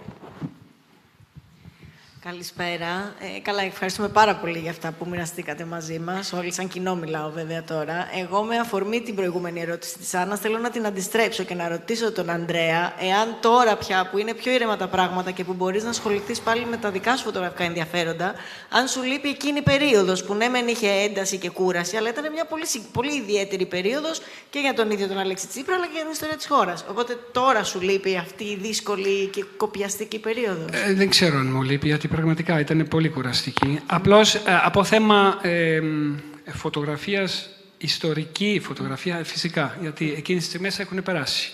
Τώρα έχ- έχουμε άλλες ε, στιγμές που πάλι είναι σημαντικές, αλλά εκείνες ήταν πραγματικά πάρα πολύ σημαντικές. Και είμαι πάρα πολύ, ε, χαίρομαι πολύ, τιμή μου, που ήμουν εγώ ο φωτογράφος του Αλέξη εκείνη τη στιγμή, που έχω τραβήξει όλη τη διαδικασία που έχει περάσει ο ίδιος Πρωθυπουργός. Ευχαριστώ. Κάποιο άλλο ερώτημα; Ο κύριος Λιγνάδης και- και αμέσως μετά σε εσάς. Ευχαριστώ πολύ. Ήθελα να ρωτήσω, πρώτα απ' όλα να πω ότι είμαι πολύ χαρούμενος που η εκδήλωση αυτή γίνεται στο κτίριο της Δραματικής Σχολής του Εθνικού Θεάτρου και θέλω να ρωτήσω, ας πούμε τώρα αν όλοι ε, ε, δυνητικά έχουμε όλοι κινητά, μπορούμε να φωτογραφίσουμε τον κύριο Πρωθυπουργό, για παράδειγμα. Έχει αλλάξει κάτι τώρα που ο καθένας έχει πρόσβαση στη φωτογράφηση, στο βίντεο, στην εικόνα, ε, στη, στο ανέβασμα αυτών των φωτογραφιών; Έχει αλλάξει κάτι στη δουλειά σας; Παλιά υπήρχαν κάποιοι φωτορεπόρτερ, παίρνανε τις εξαιρετικές στιγμές, τις δειλίζανε και τις δημοσιεύανε. Τώρα ο καθένας μπορεί να φωτογραφίσει, βιντεοσκοπήσει, δημοσιεύσει ό,τι θέλει και υπάρχουν και κοινωνικά δίκτυα που μπορεί να το ανεβάσει όπου θέλει. Ή Δεν υπάρχει διαφορά στη δουλειά σας ή ακόμα, ακόμα και στην πολιτική προέκταση; Της δουλειάς σας. Ευχαριστώ πάρα πολύ. Ε, σίγουρα έχουν αλλάξει ταχύτητες. Οπότε, επειδή οποιοδήποτε με ένα κινητό μπορεί να τραβήξει μια φωτογραφία για την ανεβάσει, όσο κακή κι αν είναι, ε, είναι ένα παραπάνω άγχος για μας ότι πολύ γρήγορα να, να έχουμε το υλικό έτοιμο, ε, να το ανεβάσουμε ώστε να το έχουν όλα τα μέσα για να το χρησιμοποιήσουν. Επίσης, ένα μεγάλο κακό που γίνεται στη δουλειά μας είναι ότι όλοι είναι με ένα κινητό μπροστά και εμείς δεν μπορούμε να κάνουμε τη δουλειά μας. Αλλά από την άλλη, έχουμε δει φοβερές εικόνες του Δημήτρη, για τον, του κύριο Μητσοτάκη, που είναι αυτός της έχει τραβήξει, δεν, δεν ήταν κανένας άλλος. Δηλαδή, ε, τότε δεν τον επηρεάζουν σε αυτή τη δουλειά. Και εγώ άλλες φωτογραφίες που έχω κάνει στο γραφείο του Juncker, ή ακόμα και ε, κάποια στιγμή είδαμε μια φωτογραφία του Πάπα, ένα παιδάκι ήταν στη Λέζο που του φυλάει το χέρι. Εγώ ήμουνα, επειδή ήμουν ο φωτογράφος του Πρωθυπουργού, εκείνη τη στιγμή μόνος εγώ και ο φωτογράφος του Πάπα. Και αυτή η φωτογραφία συγκεκριμένη έχει γυρίσει όλο τον κόσμο και ήταν η δική μου. Ενώ όλοι οι άλλοι ήταν χίλια δύο φωτορεπόρτερ, αλλά τους είχαν σε ένα σημείο που εκείνη την εικόνα δεν την είχαν. Τότε ε, εμείς ως φωτογράφοι του Πρωθυπουργού έχουμε μια, ε, κάποιες δυνατότητες που καθέ, ο καθένας δεν έχει. Τότε σε αυτά δεν μας επηρεάζουν. Αλλά αυτό που λέει ότι αυτά τα κινητά, ιδιαίτερα τα τάμπλετ που είναι τόσο μεγάλα, ε, δεν μπορούν να κάνουν δουλειά μας. Είναι, αυτό είναι πολύ, πολύ δύσκολο. Πολύ ενοχλητικό, ναι. Σας ακούμε. Ακούγομαι; Ωραία. Καλησπέρα και ευχαριστούμε πάρα πολύ γι' αυτό. Εγώ θέλω να κάνω μια ερώτηση. Ποια, αν μπορεί να περιγράψετε κάποια άβολη στιγμή που έχει υπάρξει, με την έννοια ότι το αποτέλεσμα το οποίο βγάλατε φωτογραφικά εσείς δεν έμειναν ικανοποιημένοι ο εκάστοτε Πρωθυπουργός; Ποια ήταν αυτή η άβολη στιγμή και πώς αντιδράσατε τόσο εσείς όσο και ο εκάστοτε Πρωθυπουργός σε αυτό; Ευχαριστώ πολύ. Εμένα ευτυχώς δεν μου έχει τύχει ακόμα, οπότε... Εμένα μου έχει τύχει. Είναι Φυσικά... παρόν, ο ίδιος ο Πρωθυπουργός εδώ και... Φυσικά έχει τύχει που σε δύο φορές, δεν θα πω τι, απλώς κάποιες φωτογραφίες που δεν έπρεπε να είχαν φύγει, ε, φύγανε. Και εκεί έφταιγα εγώ. Και Όσο τότε... στο περιεχόμενο; Όσο το περιεχόμενο. Δηλαδή κάποιες, ε, κάποιες συναντήσεις που είχαν γίνει, ναι. που κάποια, κάποια στιγμή ο Τσίπρας με φωνάζει, λέει, μα γιατί είναι αυτές οι φωτογραφίες uh-huh. στην Ελλάδα; Λέω, ούψ, συγγνώμη, αλλά εκείνη τη στιγμή αισθάνεσαι, ξέρεις, πως είναι... Τώρα θα γίνει, θα με διώξεις, θα με κάνεις. Αλλά ευτυχώς, όχι εντάξει. Απλώς, αυτά ευτυχώς τελειώνουν πολύ γρήγορα και μετά πάμε στα επόμενα. Στα επόμενα. Αλλά εσύ αισθάνεσαι πολύ άσχημα εκείνη τη στιγμή, φυσικά. Ε. Άλλο ερώτημα; Ο κύριος εδώ και η κυρία εκεί αμέσως μετά. Σας ακούμε. Ε, πιστεύω από τις εικόνες που είδαμε όλοι εδώ πέρα, ε, θα καταλάβατε όλοι το ότι η νέα γενιά των φωτορεπόρτερ, ε, και μπορώ να το πω γιατί ασχολούμαι πάρα πολλά χρόνια, ήμουν καθηγητής φωτογραφίας και εδώ και στο Βελιγράδι ε, και είμαι και σύμβουλος έκδοσης στο φωτογραφικό περιοδικό, το Photonet. Γνώριζα λοιπόν τους παλιότερους φωτορεπόρτερ οι οποίοι δουλεύανε σε τελείως διαφορετικές συνθήκες και είχαν τελείως διαφορετική οπτική. Δηλαδή; Δηλαδή, η οπτική τους ήταν στο στυλ της χαιρετούρας, το να τραβήξουμε το στιγμιότυπο, ασπρόμαυρη φωτογραφία ως επιτοπλίστων, που δούλευε τότε ο τύπος. Οπότε τώρα ξαφνικά βλέπουμε τη νέα γενιά, η οποία είναι πάνω απ' όλα εξαιρετικά παιδιά, όλη αυτή η νέα γενιά των φωτογράφων, και αυτό φάνηκε και από την εκδήλωση που οργάνωσαν τα παιδιά και με αφορμή το θάνατο του Μπεχράκη με το Ίδρυμα Νιάρχος. Και πιστεύω ότι είμαστε σε μια καινούρια γενιά φωτογράφων οι οποίοι είναι πάρα πολύ προχωρημένοι, στέκονται συγκρίνοντάς τους με το φωτορεπορτάζ στο εξωτερικό, είναι σε πάρα πολύ καλό επίπεδο και αυτό αποδεικνύεται και από τα πολλά βραβεία που έχουν πάρει ε, μετέχοντας και σε κριτικές επιτροπές σε διαγωνισμούς διεθνείς, ε, διαπιστώνουμε το ότι οι Έλληνες φωτορεπόρτερ είναι πραγματικά πολύ ανεβασμένοι ποιοτικά. Εργάζονται βέβαια κατά κύριο λόγο και συνεργάζονται με ξένα πρακτορία, γιατί ναι. εδώ πέρα στα ελληνικά μίντια... τώρα πάτε να δείξετε ένα θέμα το οποίο είναι ακόμα για, πιο... Για να πούμε όλη την εικόνα πιο, γι' αυτό. Πιο δύσκολο. γιατί οι αμοιβές που παίρνουν οι φωτορεπόρτερ στην Ελλάδα είναι αστείες έτσι, για να λέμε τα πράγματα με το όνομά τους. Ε, Παρ' όλα αυτά όμως η επιμονή τους, το κουράγιο τους, η όρεξή τους νομίζω το ότι αποδίδει. Και πραγματικά βλέποντας αυτή την καινούργια γενιά των φωτογράφων και με την προσπάθεια που γίνεται να φανεί το έργο της παραπέρα, χωρίς να θέλω να θίξω τους δημοσιογράφους, ε, οι φωτορεπόρτερ είναι σε πολύ καλύτερη εκτίμηση από το κοινό από τη δημοσιογραφία. Ε, ναι, εξαρτάται. Αν δεν έχουν πέσει όμως ε, θύμα ξυλοδαρμού σε πορεία. Δηλαδή, ε, καλά. Δεν είστε πολύ αντικειμενικός τώρα για να, είμαι, να προσπαθήσω να κρατήσω κάποιες ισορροπίες. Δεν είναι ακριβώς έτσι. Και αν θέλετε, η βία δεν διαχωρίζεται στο αν τη δέχονται οι μεν ή οι δε. Σίγουρα. Έτσι. Σίγουρα. Ε, οπότε οι φωτοδημοσιογράφοι το γνωρίζετε καλύτερα από μένα. Δέχονται πολλές φορές περισσότερες φορές ε, έστω και φραστικές επιθέσεις, βία Ναι. είναι και αυτό, ειδικά σε ό,τι έχει να κάνει έξω στο δρόμο και αναγκάζεστε πολλές φορές και αναγκάζονται πολλές φορές να κρύβουν τον εξοπλισμό τους. Γιατί ο δημοσιογράφος μπορεί να βγει με ένα κινητό τηλέφωνο, Ναι, ναι. ο Έτσι. φωτογράφος, ο- για να, είμαστε, να τα λέμε λίγο πιο στοχευμένα, Ε, παρακαλώ, τα ο πράγματα, Θανάσης- για να μην απογοητευόμαστε και οι Ναι, ναι. νεότεροι. Μην τα διαστρεβλώνουμε. Ο Θανάσης έχει κάνει ομιλίες και έχει δείξει εικόνες πώς Μάλιστα. πάει σε διαδηλώσεις και σε Ακριβώς. καλύψει γεγονότα. Γι' αυτό. Άρα ε, Είναι- συνεννοούμαστε. Για να μην αποπροσανατολίσουμε τη συζήτηση, σας ναι, ναι. ευχαριστούμε πάρα πολύ, Να γιατί είστε είναι τεράστιο θέμα προφανώς. Ε, η κυρία... Ναι. Γεια σας. Ε, Γεια σας. Εγώ θέλω να ρωτήσω... Δε- ας μπορείτε να έρθετε λίγο πιο κοντά, γιατί είστε ακριβώς κάτω από τα φώτα και δεν σας βλέπουμε καθόλου. Η ερώτηση που έχω να θέσω εγώ είναι ότι δουλεύοντας ε, δίπλα σε δύο πρωθυπουργούς, ε, νυν και πρώην, είναι ότι είναι ένας σε πολύ αποστηρωμένο περιβάλλον. Είστε σε κάποιες, στις περισσότερες φορές, για να το θέσω καλύτερα. Σε ένα αρκετά αποστηρωμένο περιβάλλον εννοώ ότι δεν υπάρχει κάποιος να σε ενοχλήσει δίπλα εκτός από τους συναδέλφους στα πρώτα λεπτά. Ε, δεν υπάρχει τόσο πολλοί κόσμος, ιδιαίτερε συναντήσεις. Έχετε μια μεγαλύτερη άνεση και μια μεγαλύτερη μ, ευκολία στο θέμα του χρόνου. Θέλω να ρωτήσω αν σας λείπει ή αν θα το θέλατε να υπήρχε μια μ, πίεση χρόνου που σε κάποιους φωτορεπόρτερ λειτουργεί όσο ότι πρέπει να βγάλω το αποτέλεσμά μου στα πρώτα τρία λεπτά. Γιατί έχω αυτό το χρόνο, πρέπει ο Πρωθυπουργός να έχω το τέλειο καρέ για το πρακτορείο μου να ανέβει στα πρώτα τρία λεπτά. Γιατί μετά πρέπει να φύγω έξω από την αίθουσα. Που πιθανά μετά εσείς να μένετε εκεί.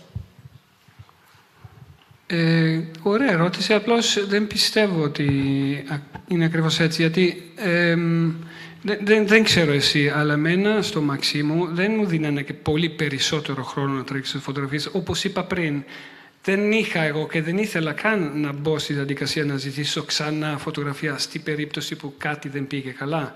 Δηλαδή α, να στείνονται ξανά. Ε, τότε ε, η πίεση την έχουμε κι εμείς. Αν πηγαίνουμε Βρυξέλλες, για παράδειγμα, που υπάρχει ένα tour de table εκεί πέρα, δεν είμαστε μόνο ε, εγώ σαν α, φωτογράφος α, προσωπικός. Είναι άλλες 20 τόσες χω- χώρες φωτογράφοι και όλοι πιεζόμαστε πάρα πολύ να τραβήξουμε μέσα σε δύο λεπτά τις φωτογραφίες που χρειαζόμαστε όσο μπορούμε και γρήγορα για να μετά να τις στείλουμε εδώ στην Ελλάδα ή να μπορεί να φαίνεται ότι ο Πρωθυπουργός είναι εκεί πέρα. Ε, η πίεση την έχουμε συνέχεια κι εμείς. Δεν, δεν συνηθίζεται τόσο πολύ να έχουμε τόσο πολύ άνεση και, και χαλαρά. Όχι. Τότε πιστεύω είμαστε συνέχεια σε, σε αυτό που λες την πίεση να κάνουμε όσο μπορούμε καλύτερα τη δουλειά μας μέσα σε πολύ γρήγορο χρόνο. Δεν ξέρω τι λες εσύ. Συμφωνώ, συμφωνώ. Δηλαδή, Δεν υπάρχει αυτή η ειδική μεταχείριση ουσιαστικά. στην Ελλάδα θα έλεγα ότι είμαστε προνομιούχοι, δεν το συζητώ. Απλά όταν είμαστε στο εξωτερικό ισχύει για μας ότι ισχύει για όλο τον υπόλοιπο κόσμο. Ναι, νομίζω είναι κατανοητό. Άλλη ερώτηση; Βεβαίως, βεβαίως. Ένα μικρόφωνο στον κύριο Πρωθυπουργό, παρακαλώ. Καταρχάς ε, να σας συγχαρώ για αυτήν την ε, εξαιρετικά ενδιαφέρουσα ε, συζήτηση. Ήταν ε, πολύ διαφωτιστικό για μένα να ακούσω την ε, ματιά ε, του, του Ανδρέα ε, για το πώς ο ίδιος αντιλαμβάνεται τον ρόλο του ως προσωπικό φωτογράφο του Αλέξη Τσίπρα. Και θέλω να κάνω τρεις πολύ σύντομες παρατηρήσεις. Η πρώτη είναι ότι για μένα οι ενδιαφέρουσες φωτογραφίες είναι κατά κανόνα αυτές οι οποίες δεν βλέπουν ε, ε, τα φώτα της δημοσιότητας. Και θυμάμαι όταν ε, ο Δημήτρης κάποια στιγμή μου χάρισε ένα άλμπουμ το οποίο ο ίδιος είχε φτιάξει με αυτές που θα αποκαλούσαμε backstage φωτογραφίες, όχι αυτές οι οποίες διακινήθηκαν μέσα από το επίσημο κανάλι του τότε αρχηγού ε, της ε, αξιωματικής αντιπολίτευσης και πιστεύω ότι αυτές οι φωτογραφίες έχουν τελικά το μεγαλύτερο ενδιαφέρον. Είναι κατά κανόνα φωτογραφίες που αποκαλύπτουν κάτι παραπάνω για το πρόσωπο, για τον συναισθηματικό του κόσμο ή φωτογραφίες με κόσμο. Αυτές είναι οι φωτογραφίες που μου προκαλούν εμένα προσωπικά το μεγαλύτερο ενδιαφέρον και βέβαια πάντα υπάρχει και η καλλιτεχνική διάσταση ενός αποτυχημένου εραστέχνη ε, φωτογράφου, μιας ματιάς που είναι τελείως προσωπική, τι είναι, τι είναι ωραίο και τι δεν είναι.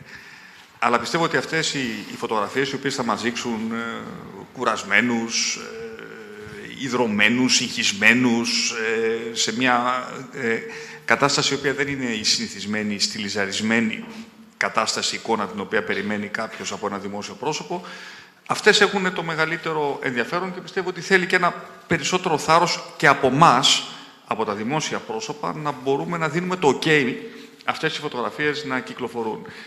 Ίσως δεν θέλει και τόσο θάρρος, διότι τελικά δεν υπάρχει προστατευμένη δημόσια εικόνα σήμερα. Διότι ε, όταν, όπως είπατε, ο καθένας έχει ένα, ε, ένα κινητό ή ένα, ε, ή ένα βίντεο, η ιδέα του ελέγχου της εικόνας, όπως την ξέραμε από την προηγούμενη γενιά των πολιτικών προσώπων, απλά δεν, ε, δεν υφίσταται. Ε, οπότε, ας φροντίσουμε τουλάχιστον οι φωτογραφίες του Δήμου να είναι, αν μη τι άλλο, ωραίες. Αληθινές και ωραίες. Και νομίζω ότι ο καθένας καταλαβαίνει όταν βλέπει μια φωτογραφία τι σημαίνει να είναι αληθινή. Όπως εγώ είδα πολύ ενδιαφέρουσες φωτογραφίες που, ε, που τράβηξες, που είναι ξεκάθαρα φωτογραφίες που δείχνουν κάτι ε, παραπάνω από αυτό το οποίο μπορεί να δει κανείς μέσα από μια συνηθισμένη χειραψία. Ε, το, το τελευταίο που ήθελα να πω είναι ότι έχω τεράστιο σεβασμό στην δουλειά σας και στη δουλειά όλων των φωτορεπόρτερ. Γιατί το λέω αυτό, διότι χρειάζεται πάρα πολύ δουλειά για να βγει αυτό το αποτέλεσμα.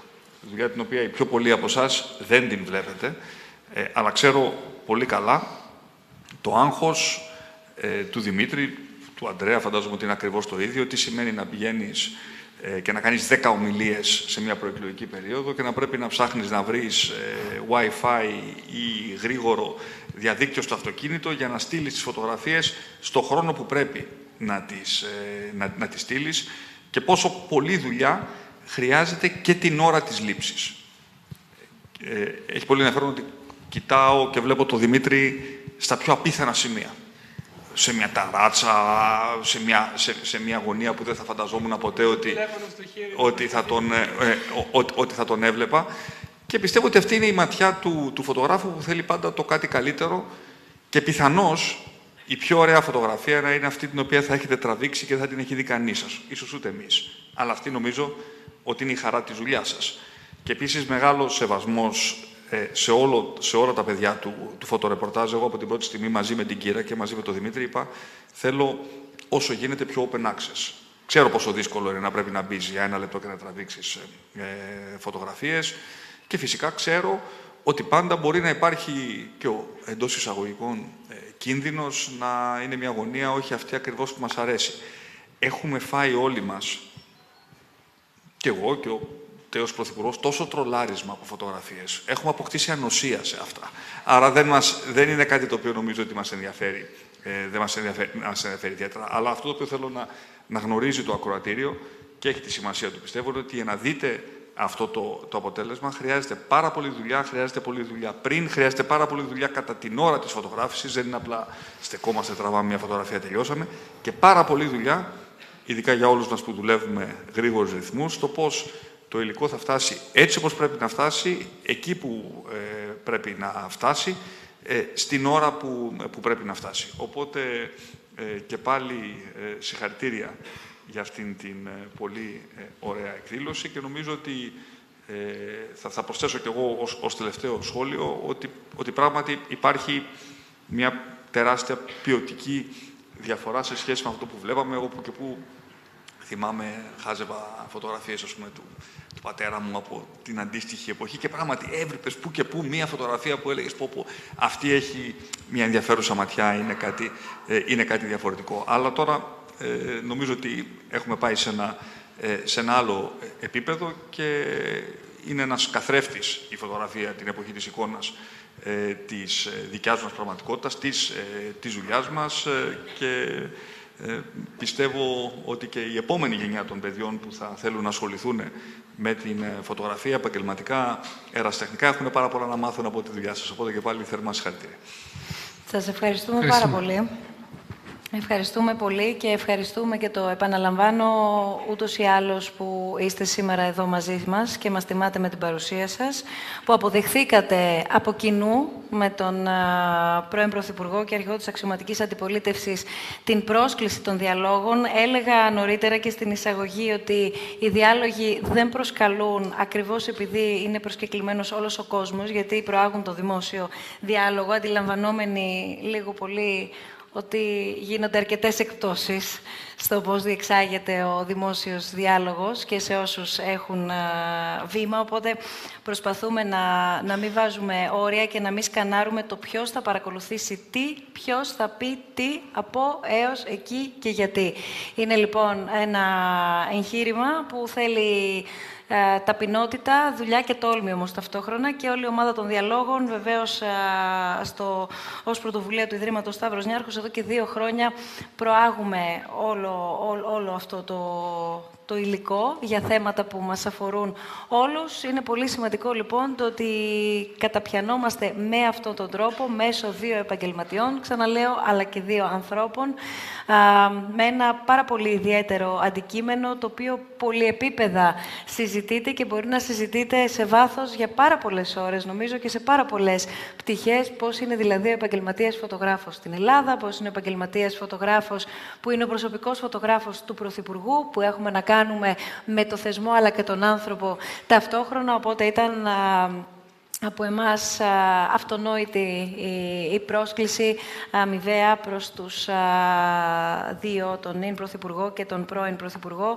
και μεγάλη όμως και η τιμή και η χαρά, γιατί δεν είναι αυτονόητο που τύχαμε της αποδοχής σας. Δεν ξέρω αν υπάρχει κάποιο άλλο ερώτημα.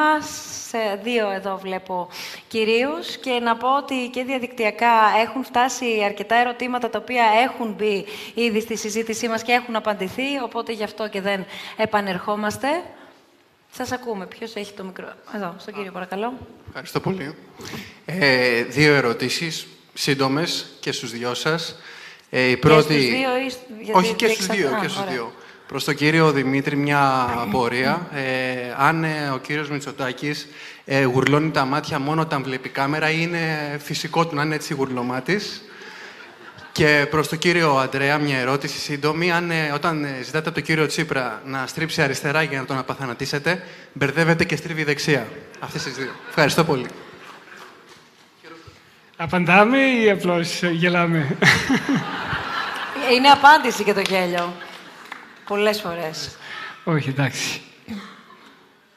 Είναι αστείο, ναι. Ε, εγώ λέω ότι η καλή του είναι αριστερά, αλλά δεν δεν είναι ότι τραβάω πάντα από, από αριστερά. Είναι άλλης φύσεως η, ερώτηση, οπότε...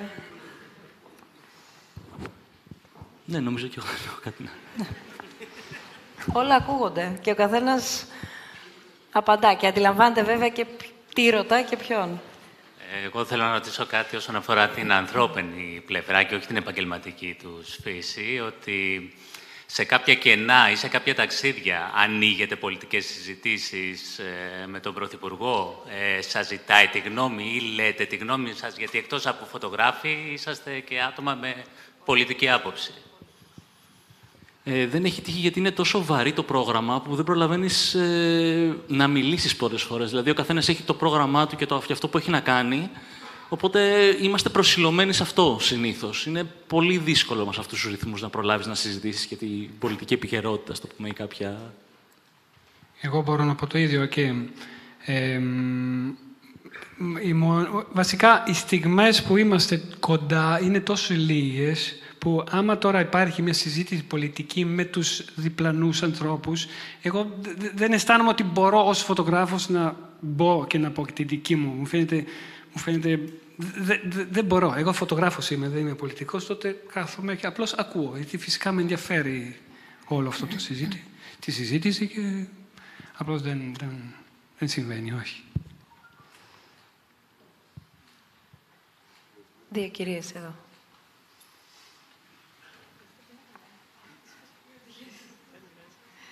Γεια σας. Ε, η δική μου ερώτηση αφορά το εξής. Όταν είναι να επιλέξετε μία φωτογραφία ε, αν είναι έχρωμη ή ασπρόμαυρη, προκειμένου μέσα από αυτή τη φωτογραφία να δείξετε μία εικόνα, ένα πρόσωπο, μία έκφραση, ένα συνέστημα, ένα γεγονός. Τι θα προτιμούσατε να επιλέξετε, την έχρωμη ή την ασπρόμαυρη; Είναι και για τους δύο η ερώτηση και περισσότερο επειδή στο background από πίσω βλέπω ότι οι φωτογραφίες περισσότερες είναι ασπρόμαυρες. Σου αρέσουν αυτές, έτσι. Ρωτάω, ρωτάω. Θα προτιμούσες να βλέπεις χρώματα ή θα σου... Ε, ε, βασικά αυτό είναι θέμα... Εμένα προσωπικά μου αρέσουν και οι, ε, μου αρέσουν οι ασπρόμαυρες. Ε, και εμένα, πολύ. ήθελα, αναρωτιέμαι αν η ασπρόμαυρη ή έχρωμη φωτογραφία μπορεί να δώσει μια μεγαλύτερη ένταση στον ναι. τρόπο με τον οποίο θέλουμε να αποκοινωνήσουμε ένα συνέστημα ε, που βλέπουμε στο πρόσωπο ε, ενός πρωθυπουργού ή μία εικόνα που είναι τελείως διαφορετικά τα χρώματα σε μία εικόνα όπως αυτή που δείχνετε από πίσω. Ναι, φυσικά. Αν αυτό παίζει ρόλο στην δική σας απόφαση. Εδώ, για παράδειγμα, βλέπουμε την αγαπημένη σου φωτογραφία μιας και Ναι, μία αγαπημένη απλώς επειδή... Που είναι μέσα στο χρώμα. Την, ακριβώς, αυτή η ασπρόμαυρη δεν θα λέει πολύ, δηλαδή θα λείπει πολύ από αυτή τη φωτογραφία. Αλλά α, γιατί βασικά το ασπρόμαυρο μάλλον είναι πολύ ωραίο να χρησιμοποιήσεις αν υπάρχουν περίεργα contrast και περίεργες ε, στιγμές, περίεργες εκφράσεις, περίεργες... Ε, εκεί θα μου άρεσε πάρα πολύ να μπορούσα να τη δώσω ασπρόμαυρη τη φωτογραφία, αλλά φυσικά η φύση της δουλειάς μας δεν μας το επιτρέπει. Απλώς, εντάξει, άμα τώρα μετά θέλεις να κάνεις ένα ωραίο δώρο στον Πρωθυπουργό, φωτογραφία, ένα άλμπουμ που έχεις κάνει backstage, ό,τι θέλεις, εκεί, εκεί κάνεις ό,τι θέλεις εσύ. Αλλά στις εφημερίδες δύσκολα αλλά φυσικά είναι πολλές φωτογραφίες, όπως είδαμε τις ασπρόμαυρες, πολλές. Εμένα μου αρέσουν πιο πολύ ασπρόμαυρες και από αυτές που βλέπω με χρώμα. Δημήτρη. Εγώ ποτέ δεν χρησιμοποιώ ασπρόμαυρες φωτογραφίες γιατί, όπως είπα, είναι καταγραφή και ε, της πραγματικότητας. Μια ασπρόμαυρη φωτογραφία θα επηρέαζε και το συνέστημα και, τα... και το αποτέλεσμα, ίσως. Ναι, ποτέ, ποτέ δεν χρησιμοποιώ ασπρόμαυρες φωτογραφίες στη δουλειά. Μερικές δικές σου φωτογραφίες είναι πολύ ωραίες, ας πούμε, τώρα. Που τη βλέπεις, μάλλον δεν, δεν την είχες ε, σκεφτεί, αλλά τώρα που τις βλέπεις δεν είναι πολύ ωραίες. Επίση, στο φωτορεπορτάζ υπάρχει έτσι και ένα ότι κάνεις, ας πούμε, μια φωτογραφία, άμα είναι τελείως λάθος η φωτομέτρηση, λάθος το white balance, οπότε την κάνεις, ας πούμε, και σώζεται και, και τη χρησιμοποιείς. Περνάει, σίγουρα. Ωραία, σας ευχαριστώ πολύ. Σας ακούμε. Ε, γεια σας. Εγώ απευθύνομαι και στους δυο σας, γιατί από ό,τι κατάλαβα παραδεχτήκατε ότι η σχέση σας με το αντικείμενο της φωτογραφίας σας, δηλαδή τον κύριο Μητσοτάκη και τον κύριο Τσίπρα, τον Πρωθυπουργό, ε, δεν είναι μόνο επαγγελματική. Δηλαδή δεν είναι φωτογράφος, Πρωθυπουργός. Άρα, αν, θέλω να σας ρωτήσω αν σας έχει τύχει να επηρεάζει αυτό τη δουλειά σας αν, ας πούμε, δεν συμφωνείτε με μια πολιτική απόφαση. Αν ηθικά σας επηρεάζει το να φωτογραφίζετε έναν πολιτικό με τον οποίο μπορεί να μην συμφωνείτε κάποια στιγμή; Εγώ πάλι είμαι σε δύσκολη θέση. Γιατί μία φορά έγινε κάτι που εγώ ήμουν σε, αισθανόμουν πολύ σε δύσκολη θέση. Και αρνήθηκα να βγάλω φωτογραφίες. Και αυτό ήταν πολύ κακό από την δική μου πλευρά, professionally, από την δική μου ως φωτογράφο πρωθυπουργού, αλλά με καταλάβανε στο γραφείο τύπου και εντάξει. Ήταν η στιγμή που έγινε την υπογραφή για την εξόριξη ε, πώς το λένε, από την Κρήτη. Πώς το λέμε στα ελληνικά; Υδατανθράκων. Υδατανθράκων από την Κρήτη. Που εγώ ως βιολόγος που αισθάνομαι ότι αυτό το πράγμα θα είναι πολύ κακό για τη χώρα, και για τη φύση της χώρας, γιατί είναι κάτι που μπορεί να γίνει πολύ επικίνδυνο, μπορεί να γίνουν πεταλοκυλίδες που ξέρουμε ότι θα κάνουν κτλ. Εγώ είπα στα, στο γραφείο τύπου, συγγνώμη, αλλά δεν θα βάλω φωτογραφία. Και, και με δυσκολία το καταλάβανε και φωτογραφίες μετά πήραμε από το ΑΠΕ, δεν πήραμε τις δικές μου.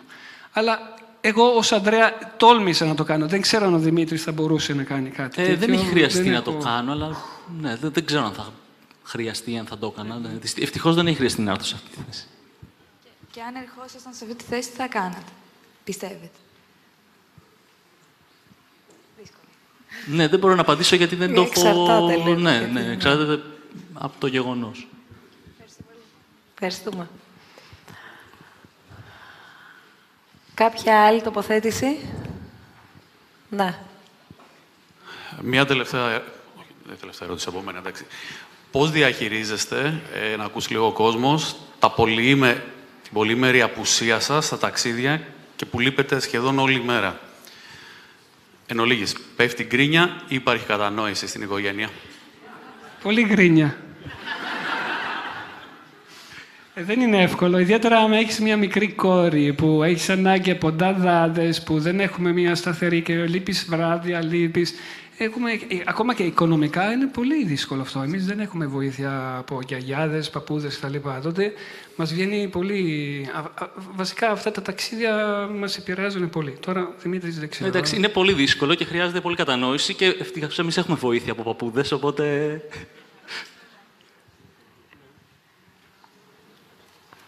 Το μικρόφωνο στον κύριο, παρακαλώ. Και έχουμε κάποιο άλλο ερώτημα; Όχι, οπότε είναι η τελευταία ερώτηση. Και εσείς, εκεί. Γεια σας. Θα ήθελα να κάνω δύο ερωτήσεις. Η πρώτη είναι αν έχετε καθόλου ελεύθερο χρόνο. Έχετε και δύο οικογένειες. Νομίζω μόλις απαντήθηκε. Απαντήσαμε. Ωραία. Και η δεύτερη είναι άλλης φύσεως. Ε, θα ήθελα να μου πείτε τι συμβουλή θα δίνατε ο καθένας από εσάς σε κάποιον νεαρό φωτογράφο που θα έκανε τα πρώτα του βήματα τώρα.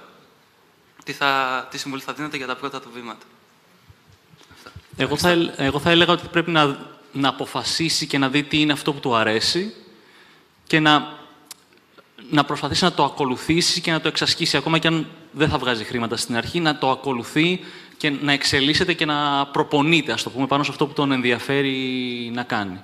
Και ποτέ δεν ξέρεις τι μπορεί να, να γίνει. Ε, σύμφωνο. Βασικά είναι όπως σε όλα τα επαγγέλματα, εγώ πιστεύω. Αν έχεις ένα πάθος, αν έχεις κάτι που πραγματικά θέλεις, όσο μπορείς να το κυνηγάς για να το καταφέρεις. Και πολλές φορές δεν τα καταφέρεις και η ζωή θα σε πάει κάπου αλλού. Και εμένα η ζωή από τη φύση τώρα με πήγε στην πολιτική. Αλλά δεν σημαίνει ότι δεν μου αρέσει αυτό. Απλώς αν είσαι λίγο ευέλικτος αλλά, αλλά και έχεις ένα focus σε κάτι και θέλεις να το καταφέρεις, ε, το κυνηγάς. Συνέχεια, συνέχεια. Να είσαι έξω, να πας, να φωτογραφίσεις. Τα κινητά τα έχεις, ε, μπορείς να στείλεις γρήγορα φωτογραφίες παντού και θα φαίνεται το όνομά σου σιγά σιγά σιγά και άμα είσαι πάρα πολύ ε, καλός, έχεις καινούριες ιδέες, ακόμα και όχι, αλλά κάτι θα, θα φανεί αμέσως και σιγά σιγά θα, θα, θα έχεις, βασικά είναι και πολύ σημαντικό να έχεις από τους γύρω-γύρω σου να έχεις μια ανταπόκριση και να αισθάνεσαι, oh, ναι, μάλλον κάνω καλό. Ε, τότε προχωράς, προχωράς, προχωράς. Μέχρι που θα φτάσεις σε ένα σημείο που είσαι ικανοποιημένος. Ναι. Σας ακούμε. Καλησπέρα. Ε, θα ήθελα να ρωτήσω, επειδή και οι δύο είπατε ότι ως ένα βαθμό τουλάχιστον συμπλέτε πολιτικά με, τους, ε, με τον κύριο Μητσοτάκη και τον κύριο Τσίπρα αντίστοιχα και ανθρώπινα συμπάσχετε μαζί τους, αλλά και φυσικά ως επαγγελματίες έχετε ένα ρόλο να αναδείξετε τον εκάστοτε πολιτικό άνδρα που φωτογραφίζετε. Οπότε θα ήθελα να σας ρωτήσω πώς νιώθετε όταν μια φωτογραφία που βγάλατε γύρισε μπούμεραγκ πολιτικά είτε στον κύριο Μητσοτάκη είτε στον κύριο Τσίπρα και δεν σας κρύβω ότι έχω κατά νου την πρόσφατη φωτογραφία του Πρωθυπουργού με τη σύζυγό του μπροστά από την εμβληματική φωτογραφία του Γιάννη Μπεχράκη. Ευχαριστώ. Ναι, ε, αυτό που με ενοχλεί πολλές ώρες είναι μια φωτογραφία που έχω τραβήξει ξέροντας ακριβώς πού ήμασταν, τι είχε συμβεί, να την παίρνει κάποιο μέσο και να την, να την παραποιεί. Αυτό θα μπορούσα να πω ότι έτσι με ενοχλεί όταν συμβαίνει.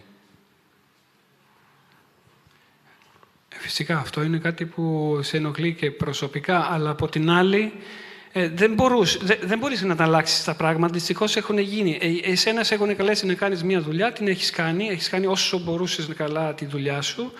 Ε, μετά όλα αυτά που συμβαίνουν αργότερα δεν είναι πια στο χέρι σου. Δεν είναι ότι θέλω να πω δεν με ενδιαφέρει, αλλά από την άλλη αυτό μου δίνει σαν ένα, ένα, ένα stop σε αυτό το κακό συνέστημα που θα μπορούσε να... Αλλιώς δεν μπορείς να, να αισθάνεσαι. Ιδιαίτερα εγώ, συγγνώμη, αλλά έχω δουλέψει τέσσερα χρόνια που είχε πολύ πίεση πάνω στο Πρωθυπουργό. Πάρα πολλές φωτογραφίες την έχουν χρησιμοποιήσει για αρνητικά, πάρα πολλές... Ε, δεν θα, ε, δεν θα είχα αντέξει ούτε εγώ ούτε ο ίδιος. Δηλαδή, κάποια στιγμή πρέπει να πεις να κάνεις ένα stop και τότε κλείνεις λίγο. Ωραία, έχει γίνει, εντάξει, τι να κάνουμε. Αυτό. Δύο ακόμα ερωτήσεις. Πάνω και εδώ. όσο υπάρχουν ερωτήσεις θα τις ακούμε. Καλησπέρα σας. Ε, δεδομένου ότι ο Γιάννης Μπεχράκης είναι πολύ μεγάλος φωτογράφος, ακριβώς επειδή πάντοτε στις φωτογραφίες του και ιδιαίτερα σε αυτές το προσφυγικό, υπάρχει ένα στοιχείο, το στοιχείο της ελπίδας. Και στη φωτογραφία του πατέρα, ο οποίος γυρνάει και φυλάει το παιδί του, αλλά και ακόμα και στις φωτογραφίες με, με τις βάρκες στο Αιγαίο που υπάρχει η μεγάλη πανσέλινο ή ο μεγάλος ήλιος ο οποίος υπάρχει πάντα το στοιχείο της ελπίδας. Ε, στη δική σας δουλειά, εσείς περιγράψατε, ο, ο φωτογράφος του κ. Μητσοτάκη, ε, νομίζω ότι ε, μας είπατε ότι δίνετε έμφαση στη λεπτομέρεια, στο σημείο. Ο δε ε, κ. Μπονέτη μας είπε ότι δίνει περισσότερο έμφαση στη σύνθεση. Θα θέλετε να μας πείτε ποιο στοιχείο της καταγραφής που κάνετε θεωρείτε ότι διαφοροποιεί και χαρακτηρίζει ιδιαίτερα τη δική σας δουλειά, του καθενός χωριστά; Δεν κατάλαβα. Γιατί να δω, γιατί είπα να κάνω ε, στη σύνθεση, δηλαδή τι θες να μου πεις, συγγνώμη, Όχι, μάλλον δεν καταλαβαίνω σωστά. Η μεγάλη εικόνα, το τοπίο, ας ναι. πούμε, ε, ενώ... Ο, ναι, αλλά το Πρωθυπουργό δεν μπορώ τώρα να το δείξω με μεγάλο... Εντάξει, φυσικά μου άρεσε η φωτογραφία που είναι στη, στην Ελούδα με τον Ελσίση, τον Αίγυπτο Πρόεδρος. Να το αναδιατυπώσω. Ποιο μια... στοιχείο θεωρείτε ότι είναι ιδιαίτερα προσωπικό στη δουλειά που κάνετε, δεδομένου ότι οι φωτογραφίες που δίνετε πάντοτε περνάνε και από άλλα φίλτρα πριν φύγουν, περνάνε και από άλλα μάτια. Το ιδιαίτερο στοιχείο που προσπαθείτε να δώσετε κάθε φορά. Ναι. Εγώ θα έλεγα ότι επικεντρώνομαι στο... στον άνθρωπο και στην προσωπικότητα. Δεν επικεντρώνομαι σε ένα συγκεκριμένο ας το πούμε, σημείο, σε, κάτι... σε ένα κοντινό, ας το πούμε. Απλά προσπαθώ να δείξω το ότι και οι πολιτικοί είναι άνθρωποι, ας το πούμε. Ότι είναι πολύπλευρος ο χαρακτήρας, δεν είναι μόνο αυτό που βλέπουμε ε, και εγώ το ίδιο. Μάλλον αυτή είναι η μεγάλη αλλαγή που έχει γίνει, όπως είπε και ο Θανάσης πριν, από τους προηγούμενους φωτογράφους που πιο πολύ έβλεπες ε, χαιρετούρες. Άμα κοιτάς μόνο αυτές τις φωτογραφίες, βλέπεις πόσο, πόσο πολύ δίνουμε δυνατότητα, ε, πόσο προσπαθούμε να δείξουμε ανθρώπους, όχι πρωθυπουργούς. Δηλαδή, πολλές φορές δεν σκεφτόμαστε καν ότι είναι πρωθυπουργού. Για μας είναι ένας άνθρωπος που έχουμε τόσο πολύ μπροστά μας, κοντά μας, να τον ο Αλέξης, όχι ο, ο κύριος Τσίπρας, πρωθυπουργός. Κατάλαβες. Δεν ξέρω. Σας ακούμε πολύ σύντομα μόνο. Δεν έχετε μικρόφωνο.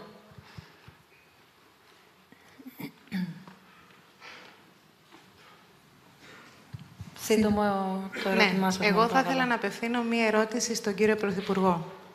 Οι ερωτήσεις, συγγνώμη, αλλά είναι προς τους ε, ομιλητές και αυτό το, το, το βάζω ευθύς εξ αρχής στο τραπέζι, εκτός εάν ο ίδιος θέλει να απαντήσει. Αλλά από εκεί πέρα στο επίκεντρο βρίσκονται Μπορώ οι να δύο κάνω την ερώτηση και αν θέλει να απαντήσει. συνομιλητές. Ε, το ίδιο δικαίωμα όμως δεν έχει δοθεί στους υπόλοιπους. Οπότε θα, για, να μην παρεξηγηθεί, Ωραία, να για πω... να μην παρεξηγηθεί αυτή η διαχείριση, μπορείτε και εφόσον ο ίδιος το επιθυμεί, στη συνέχεια να τοποθετείτε το ερώτημα. Διότι η διαδικασία εδώ είναι προς τους δύο προσκεκλημένους. Τότε να το πω στου φωτογράφου προς τη φωτογραφία, έτσι. Για τη φωτογραφία είναι. Ε, άρα Ήθελα θέλετε να... να ρωτήσετε τους επαγγελματίες. Ήθελα να ρωτήσω εσείς πώς νιώθετε, πώς θεωρείτε ότι νιώθει ο Πρωθυπουργός ε, όταν γίνονται όλες αυτές τις φωτογραφίες; Δηλαδή, το να έχει έναν άνθρωπο όλη την ώρα να τον τραβάει κάποιες φωτογραφίες. Κάποια στιγμή θεωρείτε ότι γίνεστε αόρατοι; Πώς...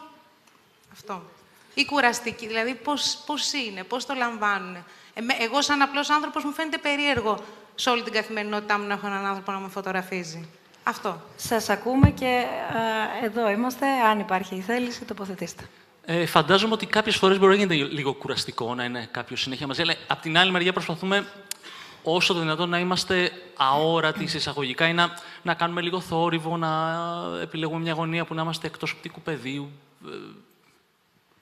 Ναι, βασικά αυτό ακριβώς. Εγώ ε, μια στιγμή που ήταν για μένα δύσκολη ήταν, ε, είχα μια πολύ καλή κάμερα που μου χάλασε, ε, έσπασε και ήταν μια Sony που ήταν μια από τις πρώτες mirrorless που όταν πατάς το πλήκτρο δεν κάνει κλικ.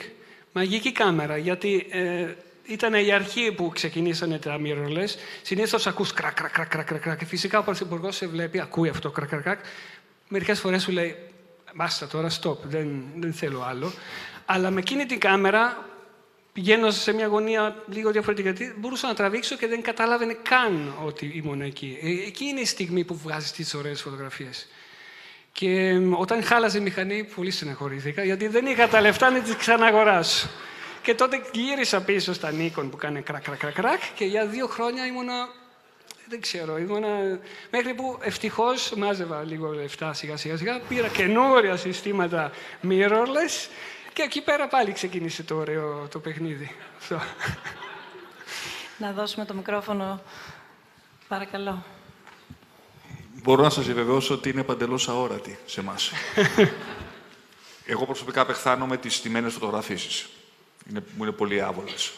Αλλά και μην νομίζετε ότι κάθε στιγμή της ζωής μας έχουμε ένα φωτογράφο από δίπλα, έχουμε δημόσιες παρουσίες και πάρα πολλές στιγμές που δουλεύουμε, κάνουμε συσκέψεις ε, ή στην προσωπική μας ζωή δεν μας φωτογραφίζει κάποιος 24 ώρες το 24 ώρο, αλλά νομίζω ότι η μεγάλη επιτυχία, κοιτάζοντας αυτές τις φωτογραφίες, δεν νομίζω ότι σε καμία από αυτές είχα εκείνη τη στιγμή την αίσθηση ότι με φωτογράφησε κάποιος.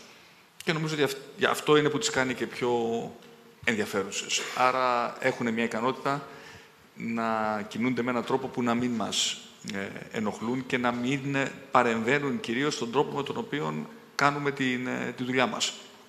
Δεν νομίζω ότι υπάρχει κανένα δημόσιο πρόσωπο, τουλάχιστον εγώ δεν, δεν ανήκω σε αυτή την κατηγορία, που έχουμε εκείνη τη στιγμή όταν κάνουμε μια ομιλία την, την αίσθηση ότι πρέπει να πάρουμε κάποια πόζα ειδική για να, για να φωτογραφηθούμε. Κάνουμε τη δουλειά μας και έχουμε εμπιστοσύνη στο φωτογράφο ότι θα βγάλει μια ωραία φωτογραφία για να γίνει η δουλειά έτσι όπως πρέπει να γίνει. Σας ευχαριστούμε πολύ και ευχαριστούμε πάρα πολύ όλους και όλες που ήσασταν σήμερα εδώ μαζί μας. Ευχαριστώ θερμά Δημήτρη, Ανδρέα, Ανδρέα Μπονέτη, Δημήτρης Παπαμίτσος, Δημήτρης Παπαμίτσος, Ανδρέα Μπονέτη. Πραγματικά ήταν πολύ απολαυστική η συνεργασία μαζί σας, αλλά και η συζήτηση μαζί σας. Το επόμενό μας ραντεβού δίνεται στις 18 Δεκεμβρίου. Εκεί θα μιλήσουμε άλλη γλώσσα, τη γλώσσα του παράλληλου και ιδιαίτερου κόσμου του YouTube και παράλληλα, κλείνοντας δύο χρόνια, θα, θα το γιορτάσουμε λίγο. Να είστε εκεί. Σας προσκαλούμε μαζί με όλο τον υπόλοιπο κόσμο για πάρτι σας, θα λέγεται το πάρτι μας. Άρα είναι ένα πάρτι για όλους μας. Και θα συζητήσουμε για όλα όσα συμβαίνουν, ξαναλέω, σε αυτή τη νέα πλατφόρμα. Ακούσαμε νωρίτερα και τους επαγγελματίες εκεί, συναδέλφους, να λένε για τα multimedia και το βίντεο. Νομίζω ο Θανάσης δεν με ακούει τώρα, αλλά είσαι προσκεκλημένος Θανάση και εσύ το, το Δεκέμβριο και το ρόλο που παίζουν οι αλγόριθμοι. Γιατί και οι αλγόριθμοι πολλές φορές μας κατευθύνουν ακόμα και πώς θα ψηφίσουμε. Μας επηρεάζουν πολιτικά. Βλέπουμε βιντεάκια στο YouTube και δίπλα βγαίνουν διάφορα παράλληλα άλλα παρόμοιου περιεχομένου α, υλικό, ουσιαστικά βγαίνει, και το ένα οδηγεί στο άλλο, πέρα από μια μουσική που θα οδηγήσει σε μια καινούργια μουσική, υπάρχουν και άλλα. Και πάει πολύ παραπέρα όλη αυτή η ιστορία. Οπότε όλα αυτά θα τα συζητήσουμε αναλυτικά την Τετάρτη 18 Δεκεμβρίου. Σας ευχαριστούμε πάρα πολύ. Καλή συνέχεια σε όλους. Καλό βράδυ.